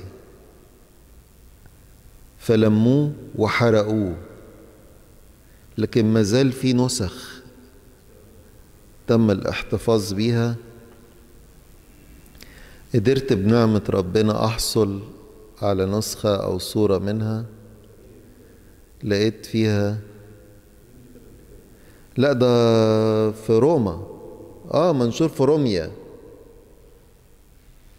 يعني ما اتطبعش هنا في مصر يعني. بس اتطبع باللغة العربية واللغة بسيطة عشان كده إيه هتلاقوا التعبيرات بتاعتها بسيطة. ف مكتوب فيه في عام 440 كتب لون أسقف روما رسالة إلى أوطاخ يؤيده فيها في جهاده ضد هرطقة نسطور. يعني أنا عايز أوريكم إن في الفترة دي الهرطقة عمالة تنتشر اللي هي كان ما بعد مجمع أفسس وبعد المصالحة وغيره يعني عمالين ينشروا الفكر النسطوري. في عام 446 أو 447 كتب سؤدوريتوس ضد عقيدة الطبيعة الواحدة للسيد المسيح واعتبرها أبولينارية رغم أن وقع على المصالحة اللي هي قرارات مجمع أفسس لكن ادعى أن المصالحة شيء تاني أن القديس كورولوس تراجع عن كتاباته وإن قبل صيغة عقائدية جديدة اللي هو القديس كورولوس بنفسه قال لم نقبل بيانا من أحد ولم يطلب أحد منا إيه؟ بيانا جديدا.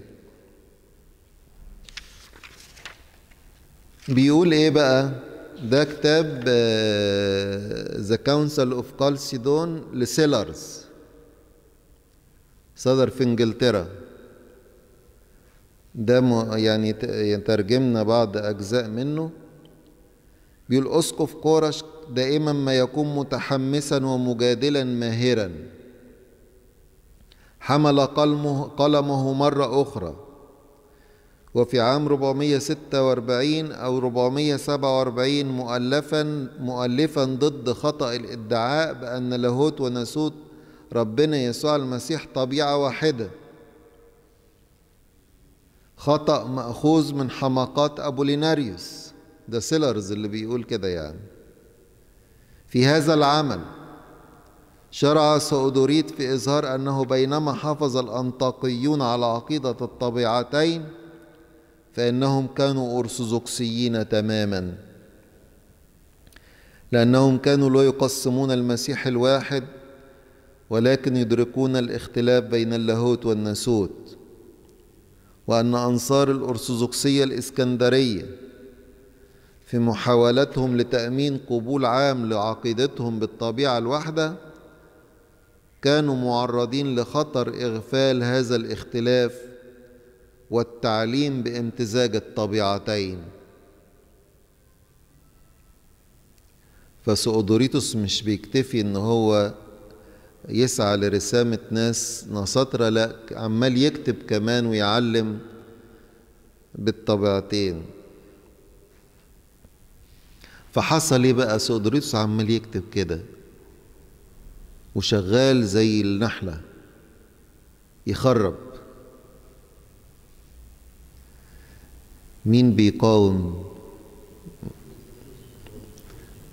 البابا ديسكورس وبيعاونوا مين؟ أوطاخي. لأن أوطاخي كان له قبول عند الإمبراطور. وكان ابنه الروحي. من رجال البلاط. دي أنا تعليقي أنا يعني. نتيجة انتشار الكتابات والمؤلفات التي تحوي الفكر النسطوري ولا سيما السودوريتس وبمساعي أوطاخي يصدر مرسوما إمبراطوريا ضد تعليم نسطور في 16 فبراير 448 الذي يقضي بإتلاف كل الكتابات التي تتعارض مع الإيمان الذي شرحه الآباء في نقيا وأفسس وكيرلس ذو الذكرى المقدسة. واحتوى المرسوم أيضا الحكم بشأن سيامة إيريناوس المتزوج مرتين بالعزل.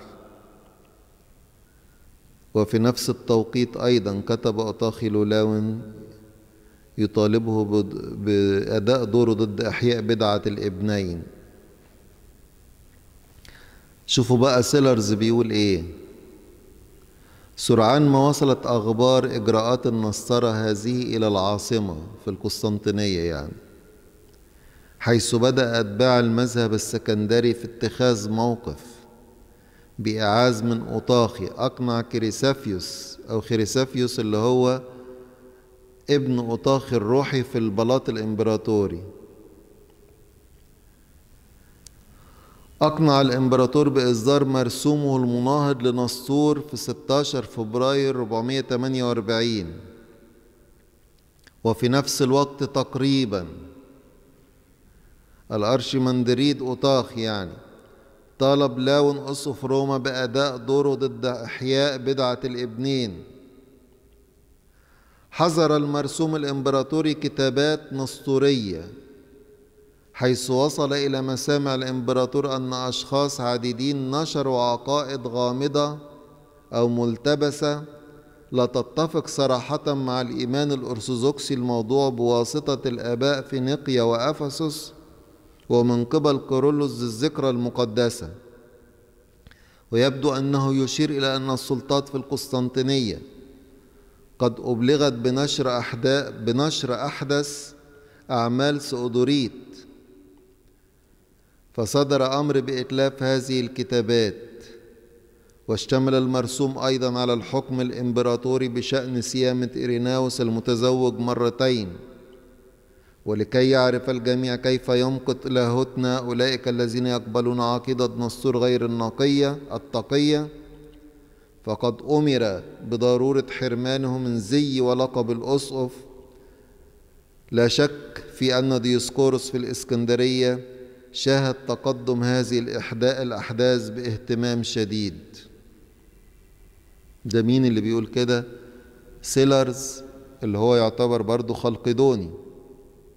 إن سؤدوريتوس كتب كتابات نسطورية وبمساعي من أوطاخي صدر أمر إمبراطوري بمناهضة الكتابات سواء لسؤدوريتوس أو غيره. وبعزل إيريناوس اللي رسم بطريقة غير شرعية. مين اللي دي دور في الحاجات دي كلها؟ أوطاخي خلي بالكم عشان تعرفوا الأحداث هتمشي إزاي. شوفوا بقى رغم الإدعاءات الخاصة بصيغة مصالحة 433 إلا أنه كان يوجد فريق أرثوذكسي قوي في سوريا. يدرك الحقيقة ويرفض بشدة هذه الادعاءات ويتمسك بقوة بقوة بتعليم القديس كورولوس الخاصة بالإيمان بالطبيعة الواحدة. متفقا في ذلك مع البابا ديسكورس وكنيسة الإسكندرية.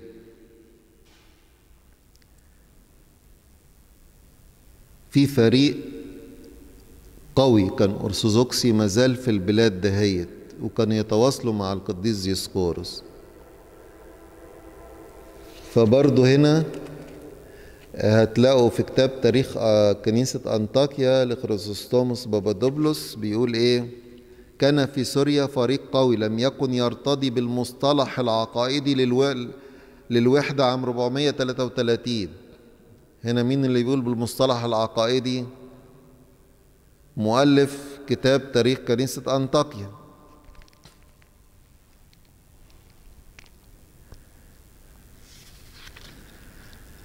ووجد هذا الفريق على اتفاق مع الفريق القائل بمذهب الطبيعة الواحدة في مصر لأن في مصر كانوا يرفضوا الإدعاء دوت. يعني اللي في سوريا رافضين الإدعاء إن الصيغة العقائدية دي رافضينها تماما ما فيش حاجة حصلت كده. وقال دول بيتفقوا مع الفريق بتاع مصر. وكان ديسكوروس نفسه يستعمل هذه النقاط ولكن لا بمعنى أرثوذكسي مثل كيرلس بل كان يتناول عبارة طبيعة واحدة لله الكلمة المتجسد بمعنى مونوفيزيقي طبيعة واحدة. يعني يقولوا آه كان ديسكورس بيردد كده برضو بس مش بزي كيرلس بالمعنى انه يقصد بيها طبيعتين لأن هم يقولوا كيرلس يقول طبيعة بس يقصد بيها أقنوم أقنوم في طبيعتين. لكن يقول ديسكورس لا بيقصد طبيعة طبيعة واحدة بالمعنى المونوفيزيقي يعني كأن الديسكورس مخالف لمين؟ لكيرلس. هم هيفهم يعني هيفهموا أكتر كيرلس أكتر من ديسكورس يعني.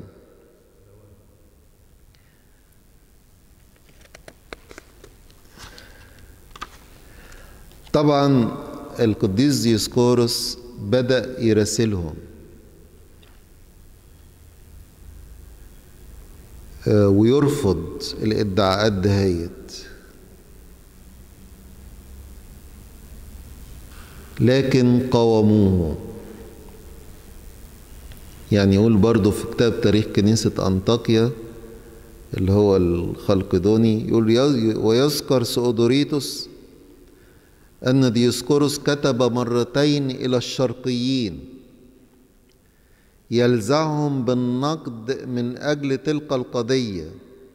وكان ظاهرا أن قصده فرض معتقد الطبيعة الواحدة مع سلطته المطلقة على كل الكنيسة متصديا لميثاق الاتحاد عام 433 الذي كان الشرقيون يستندون عليه. معتبرا الأسقف اللامع الشهير ثيؤدوريتوس عائقا في سبيل مقاصده. يعني هنا طبعا القديس ديسكورس رافض تماما لهذا الإدعاء بصيغة 433 يقول متصديا لميثاق الاتحاد مصرين إن هي المصالحة كانت كده. وإن القديس ديسكورس بيعتبر أو بيعتبر سؤدوريتوس عائقا في سبيل تحقيق السلام ووحدة الإيمان. فالقديس ديسكورس عشان شكليا إن في مصالحة وفي سلام. عشان يحسم الأمر قال لهم إعلنوا قبولكم للبنود ال 12 مش أنتوا وقعتوا على المصالحة اللي هي قايمة على قرارات مجمع أفسس؟ قلتوا إن قرارات مجمع أفسس بنيت على أساس كتابات القديس كورولوس ولا سيما البنود ال 12 دي المصالحة كده. أعلنوا علنا قبولكم البنود ال 12 فشوفوا بقى يقول إيه برضو في كتاب تاريخ كنيسة أنطاكيا. وكان ديسكورس قد طالب دمنوس وثيؤدوريتوس في رسالته آنفا بأن يقبل رسالة كيرلس التي بعنوان لمخلصنا مع الفصول الاثني عشر. فأجاب دمنوس بأنه توجد في غير تلك الرسالة نصوص أخرى تتوسع في بسط التعليم الأرثوذكسي. أما سؤدوريتوس فإذ رأى ديسكورس مصرا على فرض الآراء في وحدة الطبيعة ولرغبته في تدارك انتشارها أنشأ بصيغة حوار مؤلفه الشهير المجمع وضمنه جملا ومقاطع من مؤلفات القديس كورولوس الذي عده في جدول آباء الكنيسة. آه شوفوا المكر بتاعهم. القديس كورولوس قال لهم طيب آه اقبلوا واعلنوا قبولكم لرسالة القديس كورولوس اللي بتحوي البنود ال 12 قالوا له يعني هو ما فيش غيرها؟ طب ما القديس كورولوس كتب حاجات كتيرة وراح سؤدوريتوس جاب عمل مؤلف جديد اقتبس منه بعض أقوال انتقاها كده للقديس كورولوس واعتبر اللي هو كان بيقول على القديس كورولوس الأشرار عمرهم بيطول. واعتبروا من آباء الكنيسة ده كله عشان يخدعوا البسطاء. أما كان يحطوا اسم زي القديس كورولوس عانى في حياته أما كانوا يستخدموا اسمه كده في كتير من البسطاء في الشرق اللي هم بيؤمنوا بشدة بال بتعليم القديس كورولوس لما يشوفوا اسمه إنه كتبه في كتاب كده وبيذكره فيقبلوا الإيه؟ آه الكلام بالكامل.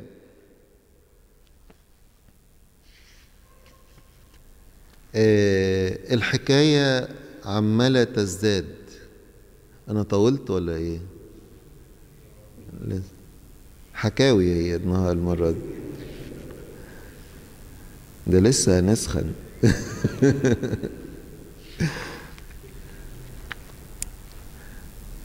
آه عمالين يزيدوا فيها. نشر كتابات. رفض لقبول البنود ال 12 صراحة دلوقتي. رسامة أسقفة نسطرة صرف. بدأوا ياخدوا خطوة أكثر تجرؤا وجرأة. سؤدوريتوس كتب صيغة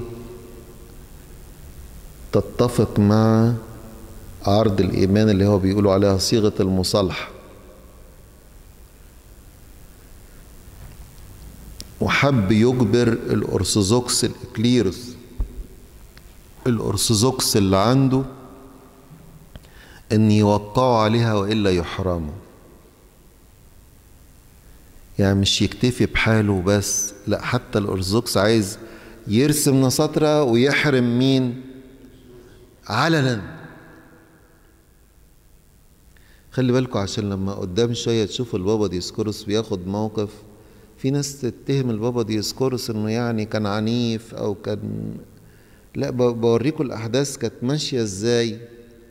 والشخصيات بعينها وضعها كان إيه؟ ومين اللي عانى منها أكتر؟ الأرثوذكس اللي في الشرق عانوا أكتر.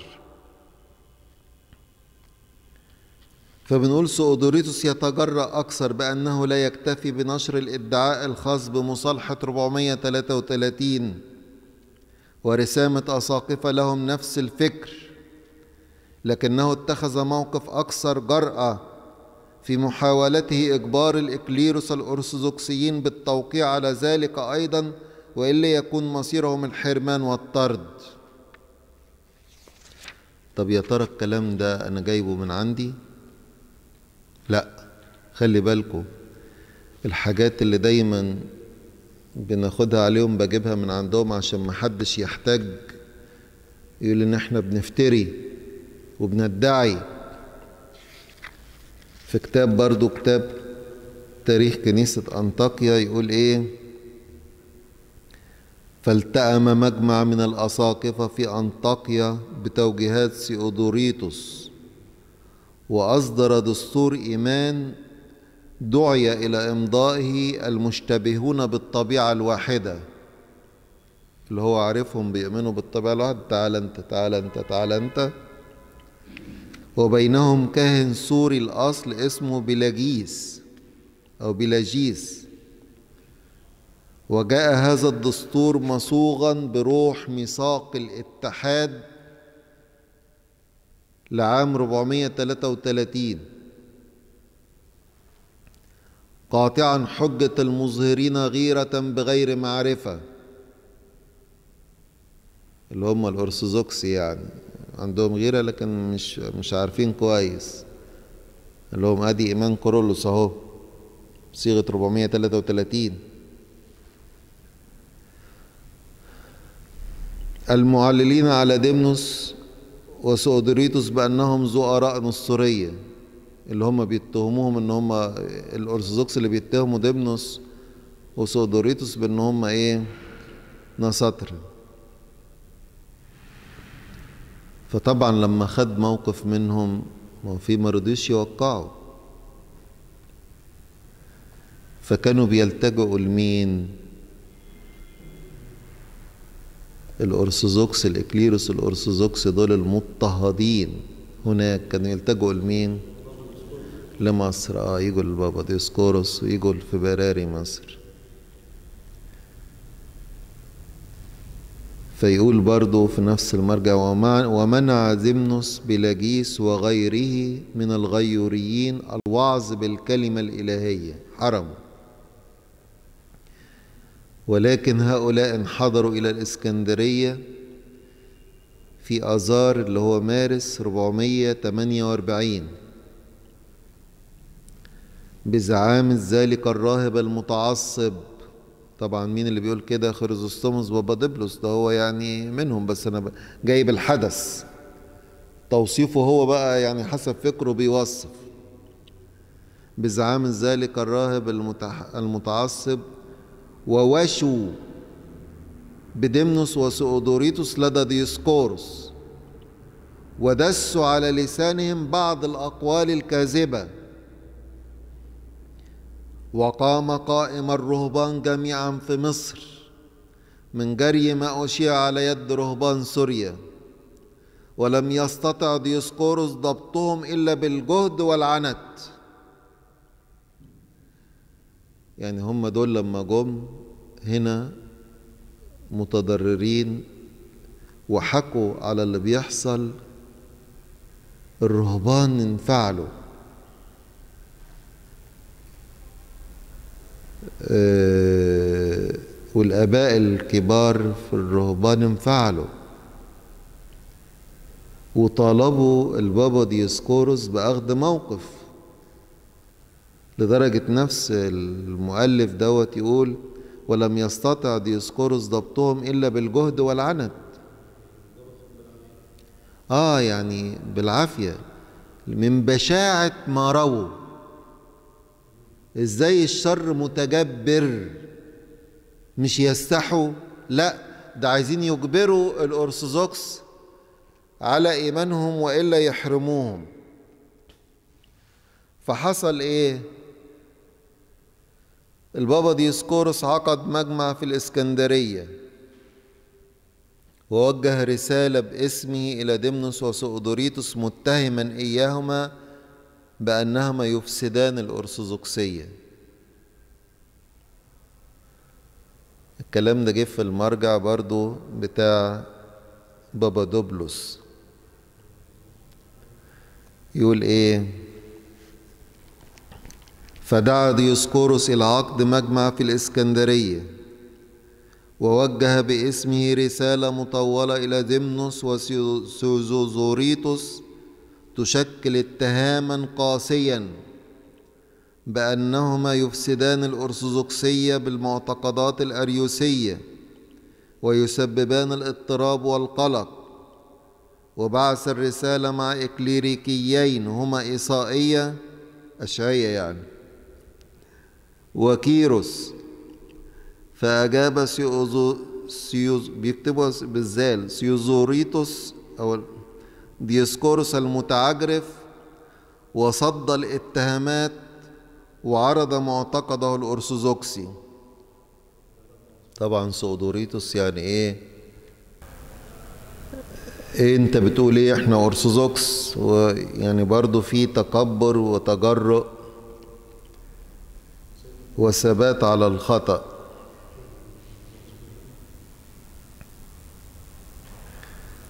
مش كده وبس بعت رسالة للبابا ديسكورس. يدافع فيها عن نفسه. إحنا إيماننا أرثوذكسي. إحنا أرثوذكس. إحنا صح.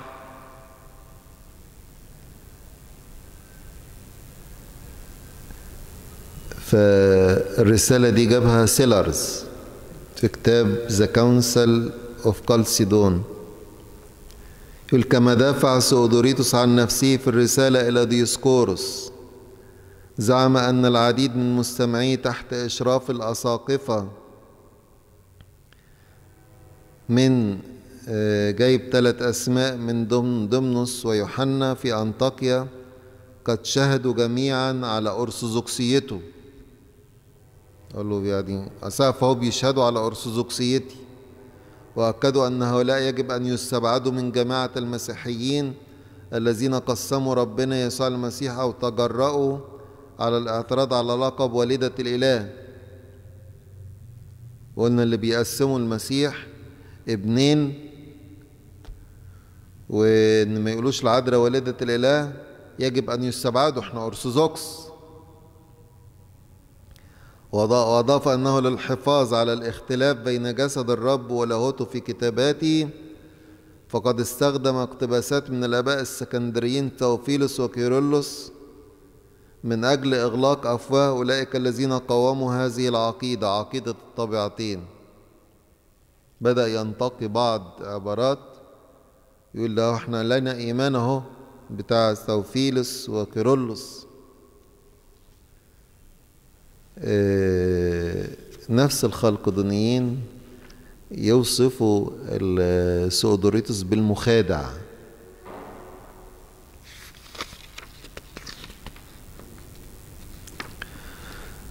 يعني مش عايز يسكت مصر. يحاولوا معاه شمال يمين برسايل بالذوق بالشرح. مش عايز يسكت خالص. وبعدين مش ثابت في مكان عمال كأنه هو البطرك في أنطاكيا ويهيج الدنيا. فالحل إيه؟ بمساعي من أطاخي يصدر أمر إمبراطوري بأن يلزم بإبعاد سؤدوريتوس عن أنطاكيا وأن يلزم إبرشيته. لأن كان دمنوس عامل له مقر في أنطاكيا. فجه بقى في كتاب تاريخ كنيسة أنطاكيا يقول ولكن لم يطل الوقت حتى تعمم الأمر الملكي.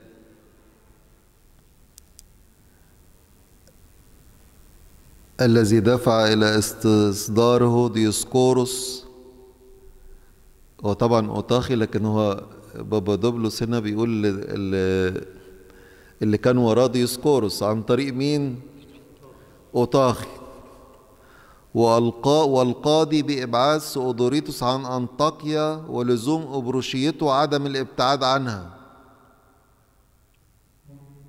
أنت تلزم أبروشيتك هنا ما تتحركش من هنا ما تدخلش أنطاكيا. سبب قلق. فاكرين من الأول خالص قلت له خلوا بالكم من الاسم ده. قلق واضطراب.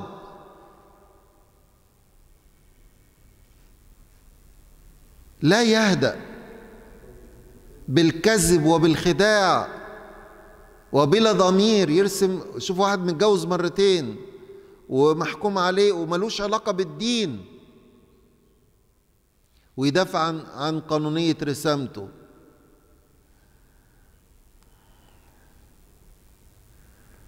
ورغم محاولة القديس ديسكورس بمعاونة أوطاخي بتحجيم سؤدوريتوس حيث صدر أمر إمبراطوري بأن يلتزم سؤدوريتوس بحدود إبرشيته إلا أنه ظل يلعب دورا كبيرا في إثارة البلبلة والاضطرابات من خلال كتاباته ورسائله أي دولك شغال.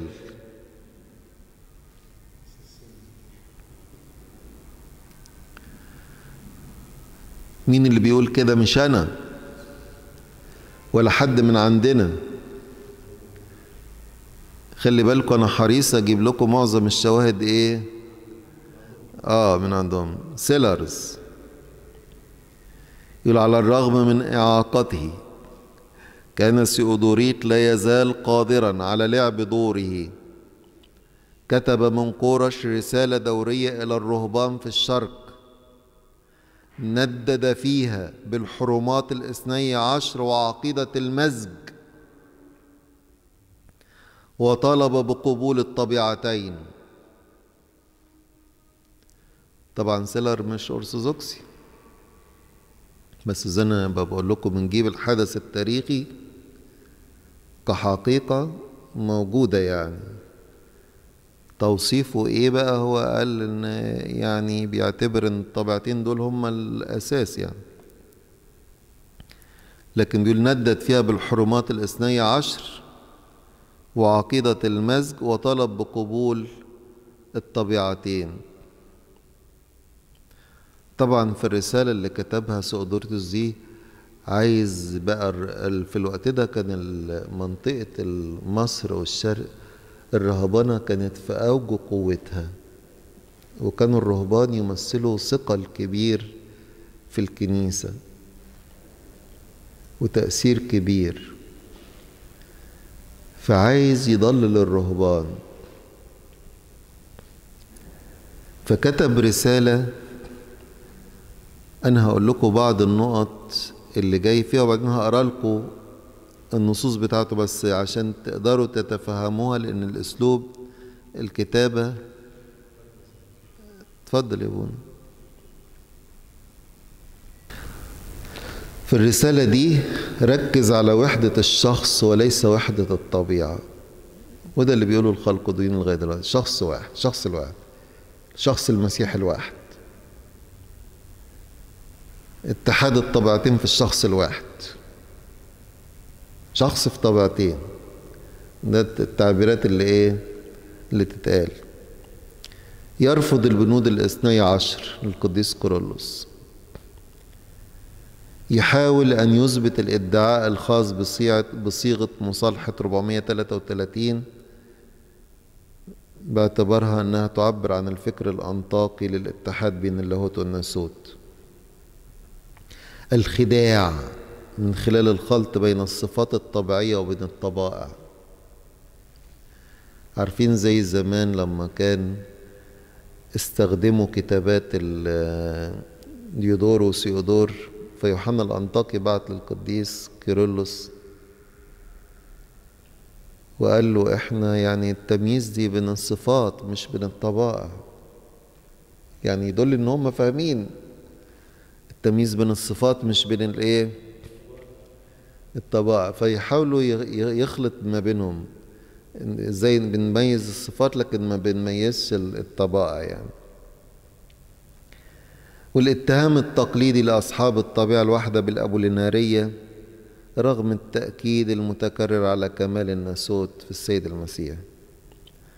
فشوفوا بقى في الرسالة اللي كتبها بحسب النص اللي جت بيه. مين اللي جابها هنا؟ أنا جايبها من سيلرز كتاب باللغة الإنجليزية. وفي رسالته العامة مع ملحقها الذي يوضح أن الأنطاقيين يؤمنون بأن ربنا يسوع المسيح هو ابن واحد بعد التجسد. لرهبان سيريا وفنيقيا وكليكية وجايب الأسماء. يقدم سيودوريت عرض موجز للتعليم الأنطاكي إنه يطرح النقاط التالية. الحرمات الأربعة الأولى التي يفحصها بإيجاز هي نبتات من الجدر الحامض لأبوليناريوس يعني يقول على البنود اللي ورد في البنود ال 12 دي من جدرها إيه؟ الجدر الحامض أو المعفن أو البايظ لابوليناريوس يعني دي بتاعت ابوليناريوس يقول فإن الإنطاقيين عازمون على الحفاظ على تراثهم دون أن يمس ويشرع في أن يقتبس صيغه المصالحة. 433 الكلام ده تعليقات سيلرز. يعني دايما مصدرين صيغة المصالحة صيغة المصالحة صيغة ال... اختزلوا القديس كارولوس كأن الصيغة دي بتاعته وهو دي بس كمان. يعني نسبوها ليه؟ والقديس كارولوس هو صيغة المصالحة بس اللي هي مش بتاعته. اللي القديس كارولوس قال ده كلامه هو. إنهم يعتقدون فأن أن في يسوع المسيح فإن فإن الكلمة اتخذ وحد لنفسه طبيعتنا من أجل خلاصنا. فهو شخص واحد. وحدة الشخص. الله والإنسان. وأن له كل من الصفات الإلهية والبشرية. بس شخص إيه؟ واحد. إنهم لا يقسمون المسيح إلى شخصين ولكن يتأملون الناسوت من خلال الآلام أو المعاناة ويدركون اللاهوت من خلال المعجزات اللي هي نفس الصيغة بتاعت توماس لاون اللي كان كاتبها سؤدوريتوس. متلألئة بالمعجزات وقابلة للإهانات طبيعة وطبيعة يعني. نحن لا نقسم الطبيعتين إلى مسيحين لكننا نعلم أن الكلمة الإلهي مولود من الآب وأن طبيعتنا قد اتخذت من نسل إبراهيم وداود. معتقدين أن الرب هو المولود الوحيد قبل التجسد والبكر بعد التجسد من العذراء. فهم يعترفون بأنه يمكن أن تدعى بكل من والدة الإله ووالدة الإنسان. ولا يقفون في طريق هؤلاء الذين يستخدمون اللقب السابق والدة الإله التعبير عن قوة السر. دي زي ما كان قال القديس كارولوس كتبوا إن هم العذراء والدة الإله وفي اتحاد لكن أضافوا خلسة بعض أقوال تظهر إنهم لم يكونوا أنقياء تماما من هزر نسطور. في الختام سؤدوريت يصرح بأنه قد حاول مرارا وتكرارا لاحضار أولئك الذين كانوا في خطأ ونواح إلى الحق. جاهد عشان يعني يهدي ويأسف على أنه بينما منذ وقت ليس ببعيد. أي بعد بعد المصالحة في 433 كانوا جميعا لهم عقل وفكر واحد والآن انقسموا إلى عدة ألسنة. طبعا هو يقصد في بداية المصالحة القديس كورولوس والأرثوذكس ما كانوش دريانين بال بالإدعاءات اللي بتتقال. فكانوا بيتعاملوا إن إحنا مصالحين وروح واحد بقى خلاص. لما بدأوا يعرفوا ويدركوا الإدعاءات بدأ في رد فعل من القديس كيرلس وبعديه القديس ديسكورس. فالفترة اللي هي الأولى دهيت هي اللي بيعبر عنها سؤدوريتوس إنه منذ وقت ليس بعيد كانوا جميعا لهم عقل وفكر واحد والآن انقسموا إلى عدة ألسنة.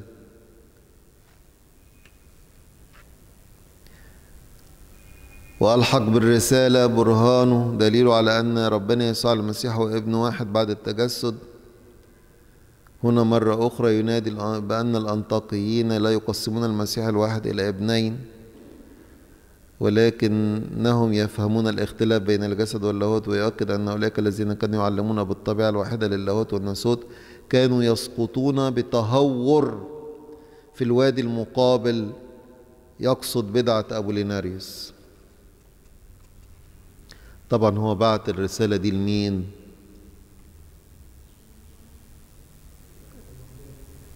مين اللي أنتوا كنتوا نمتوا؟ كان بعتها لمين عشان يستملهم؟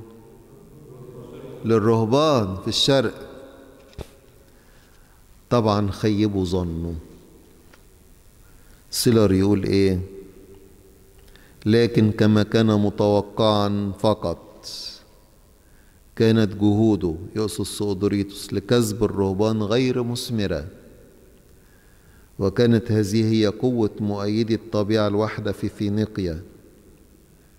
ده يورينا قد إيه كان الأماكن في الشرق ديت الإيمان الأرثوذكسي قوي فيها جدا. يعني كانوا حتى المخالفين دول صوتهم عالي لكن الغلبة كانت لأصحاب الطبيعة الواحدة وخصوصا الرهبان.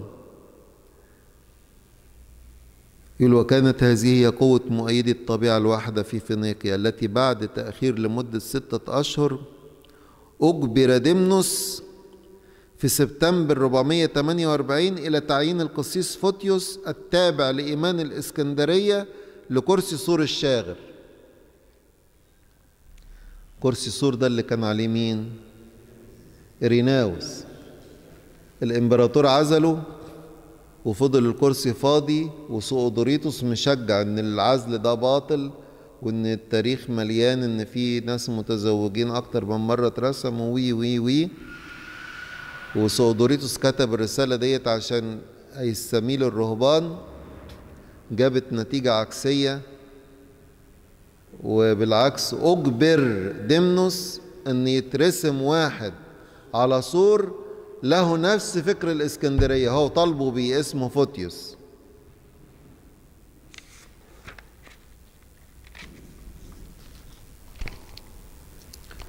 لسه.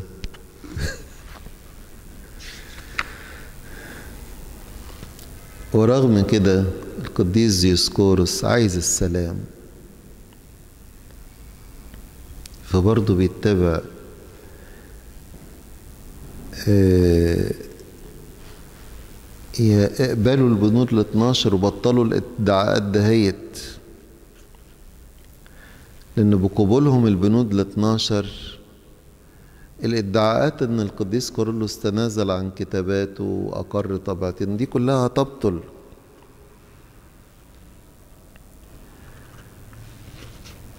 ولكن للأسف رفضوا برضو.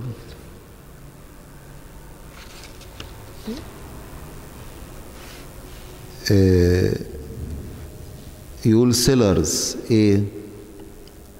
الآن بعد أن كان كبير مستشار دمنوس بعيدا عن الطريق مين كبير مستشار دمنوس سودوريتوس. ليه قال بعيدا عن الطريق؟ اتحددت يعني ما بيدخلش أنطاكي بقى دمنوس لوحده. سيلرز اللي بيقول كده يمكن أن يتحرك ديسكورس بحرية أكبر. لم يمضي وقت طويل قبل أن يرسل رسالة تهديد ثانية إلى البطريرك الأنطاكي. يشكو من أن الأمور لا تسير في طريق مستقيم. وأشار إلى أن معلمين معينين كانوا يقولون أن نسطور قد عزل بسبب رفض حضور مجمع أفسس. وأن رهبان من الشرق أتوا إلى الإسكندرية بعقيدتهم وأزعجوا سلام الأديرة المصرية. وباتخاذ الخطوة التي لم يجرؤ كيرلس نفسه على اتخاذها البابا ديسكورس يعني حث دمنوس على قبول الاثني عشر حرما. ده سيلرز بيقول إن الخطوة اللي كيرلس ما عملهاش مع إن القديس كيرلس رفض المصالحة ورفض إنه يحرم بنوده وكان أساس الاتفاق والمصالحة قرارات المجمع المبنية على البنود ال 12 يعني ما زالوا يدعوا إن القديس كيرلس تنازل عنها والقديس ديسكورس هو اللي إيه؟ اللي مصر بيها أكتر من كيرلس نفسه. يلحس دمنوس على قبول الاثني عشر حرما لأنه بذلك لن يترك أي مكان للنساطرة لكن بطريرك أنطاكيا الذي اعتقد أنه من الحكمة عدم الإعلان عن كل ما في هذه الرسالة والرسالة السابقة من الإسكندرية. مش ما تجاوبش مع خباها. عشان كده حتى في مصادرنا مش موجودة. أنا جبتها جبناها من مصادرهم هم.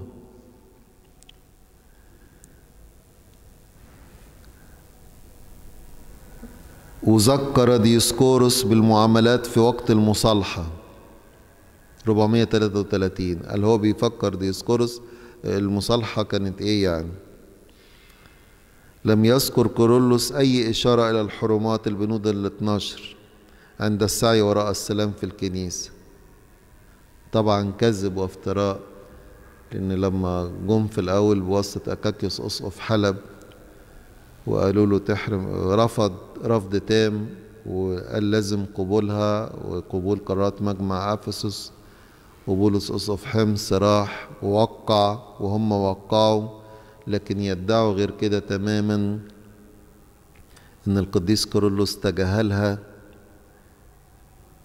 لم يذكر كيرلس أي إشارة إلى الحرمات البنود ال 12 عند السعي وراء السلام في الكنيسة. واذ تم أحضارها في ظل الظروف العصيبة السائدة في ذلك الوقت يعني الحاجات اللي كيرلس ما جابش سيرتها في وقتها لو جبنا وقتها في الوقت الحالي ده ديمنوس بيقول كده. فسيكون الشرق في حالة من الاضطراب بحيث يكون هو وأخيه الأسقف لا شيء. الدنيا, الدنيا هتقوم وأنا وأنت هنبقى لا شيء. لذلك طلب من ديوسكورس أن يدرك الخطر.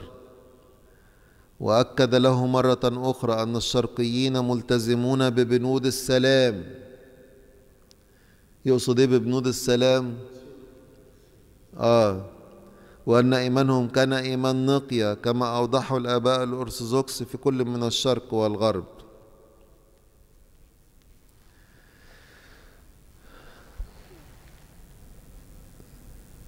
مفيش فايدة برضو. لما لقوا البابا ديسكورس بيضيق الخناق عليهم ثيؤدوريتوس اتحددت إقامته أو نشاطه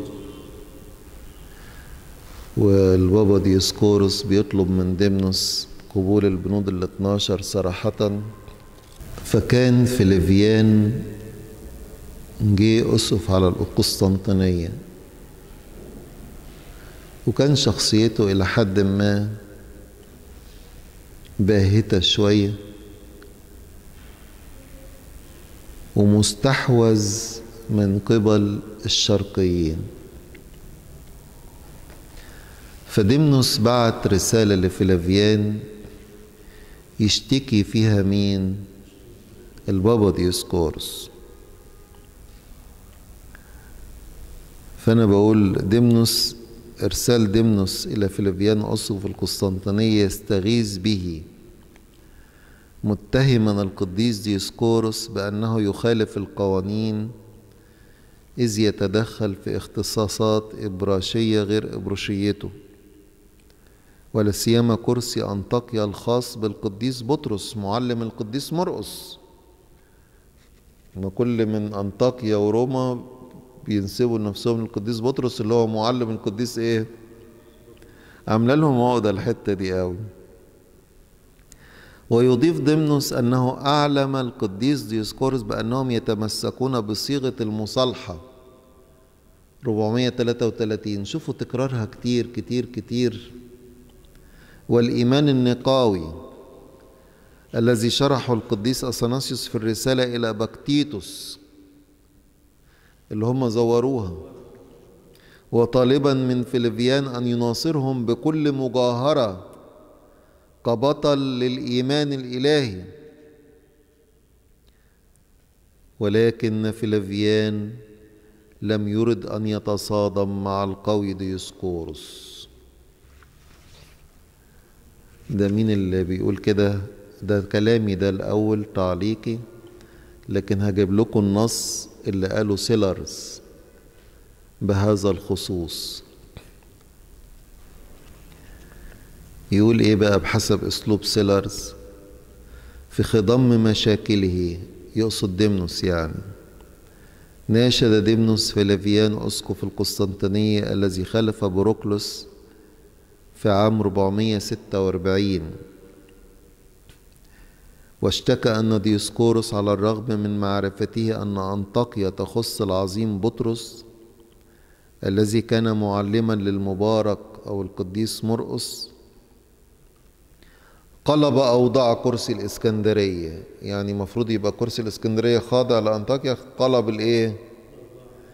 الأوضاع من خلال أفعال تدخله كان يدوس تحت الأقدام على الشرائع المقدسة. بالفعل كان الإسكندري قد أبدى سوء نيته تجاه أسقف أنطاكيا. فإن الرسالة التي وردت من الإسكندرية باتهامها للشرقيين بالتعليم بابنين لم يكن يجب أن تكتب لأن ديسكورس فضل أن يصدق كلمة القاذفين. بل إنه أضاف صوته إلى هتافات أولئك الذين كانوا يطلبون حرما ضد أخيه الأسقف في أنطاكيا.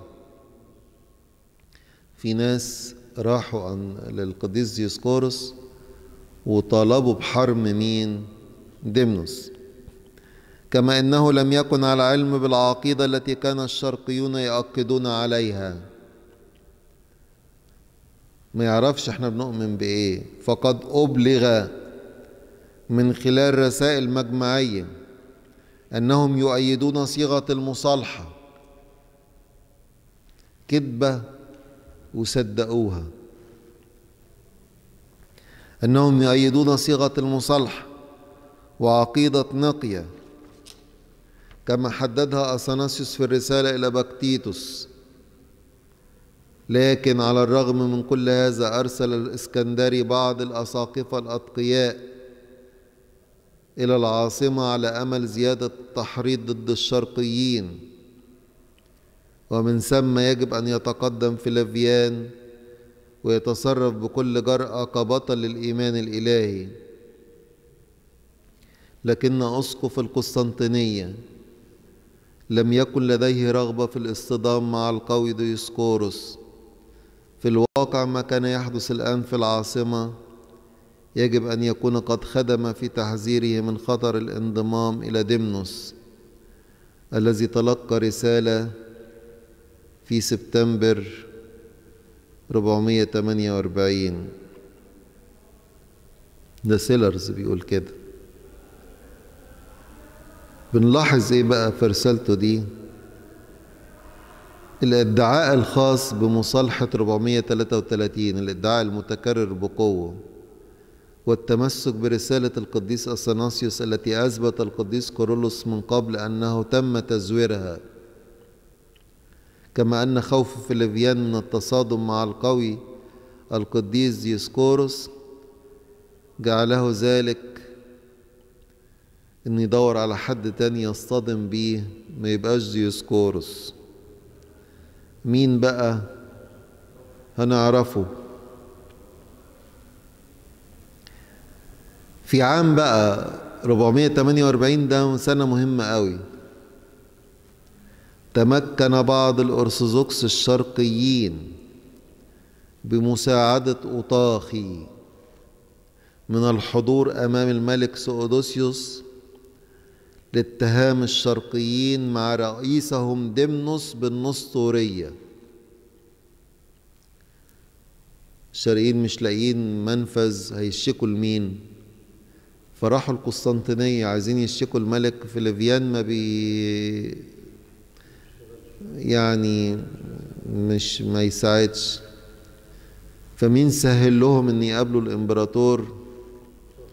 أوطاخي.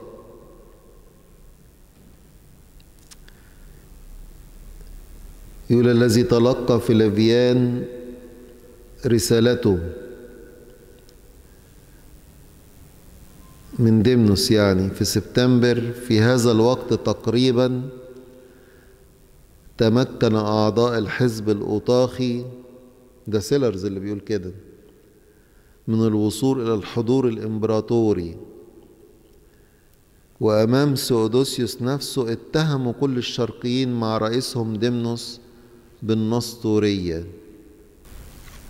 تعبتوا؟ عموما وهنا يتضح بقى أن الحرب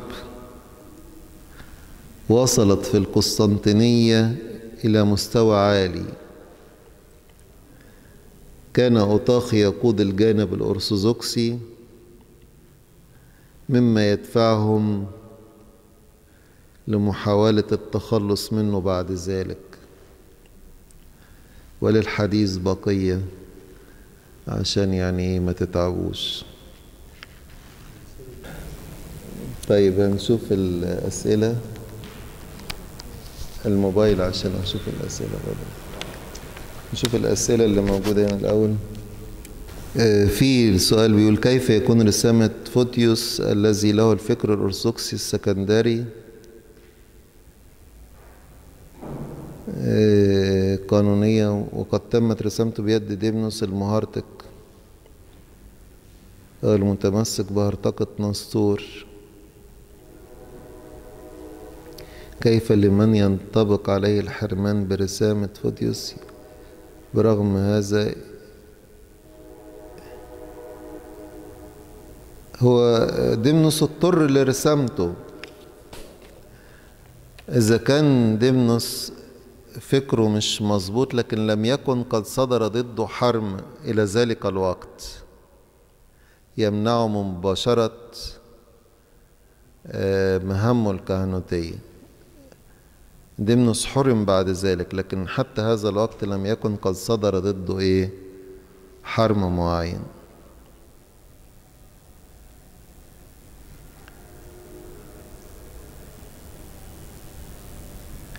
هنبدأ في الأسئلة اللي هي الأونلاين. في حد بيقول تم حرم مقدونيوس بعد وفاته؟ وحرم أفكار وحرم نسطور على الرغم إنه مش أول واحد ينشر التعليم الفاسدة. فين موقف المجمع المقدس من مدرسة أنطاكيا وأساتذة نصور؟ مش أترك المعلمين مدرسة أنطاكيا ينشرون التعليم الفاسدة وبعد ذلك أحرم تلاميذهم. لا هو لما بيتحرم نصور مش اتحرم كشخص وبس هو فكر. فكره اتحرم. لما الفكر بيتحرم بيسري على ما قبل وما بعد لأن الفكر مش محدد بزمان فبيسري على ما قبل أي حد كان له الفكر دوت لو فكره باقي محروم.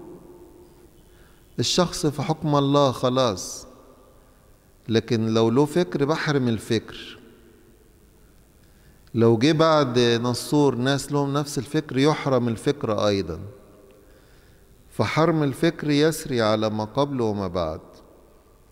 يعني لو واحد محروم وله كتابات حتى لو هو ما كانش محروم لكن الكتابات دي اتحرمت بعد كده من خلال إدانة شخص آخر مثلا له نفس الفكر. بالتالي الحرم يسري على نفس النوع من التعليم والكتابات. طيب أي سؤال؟ نشكر حسن إنصاتكم ونكتفي بكده هذا المساء. نلتقي الأسبوع القادم إن شاء الله.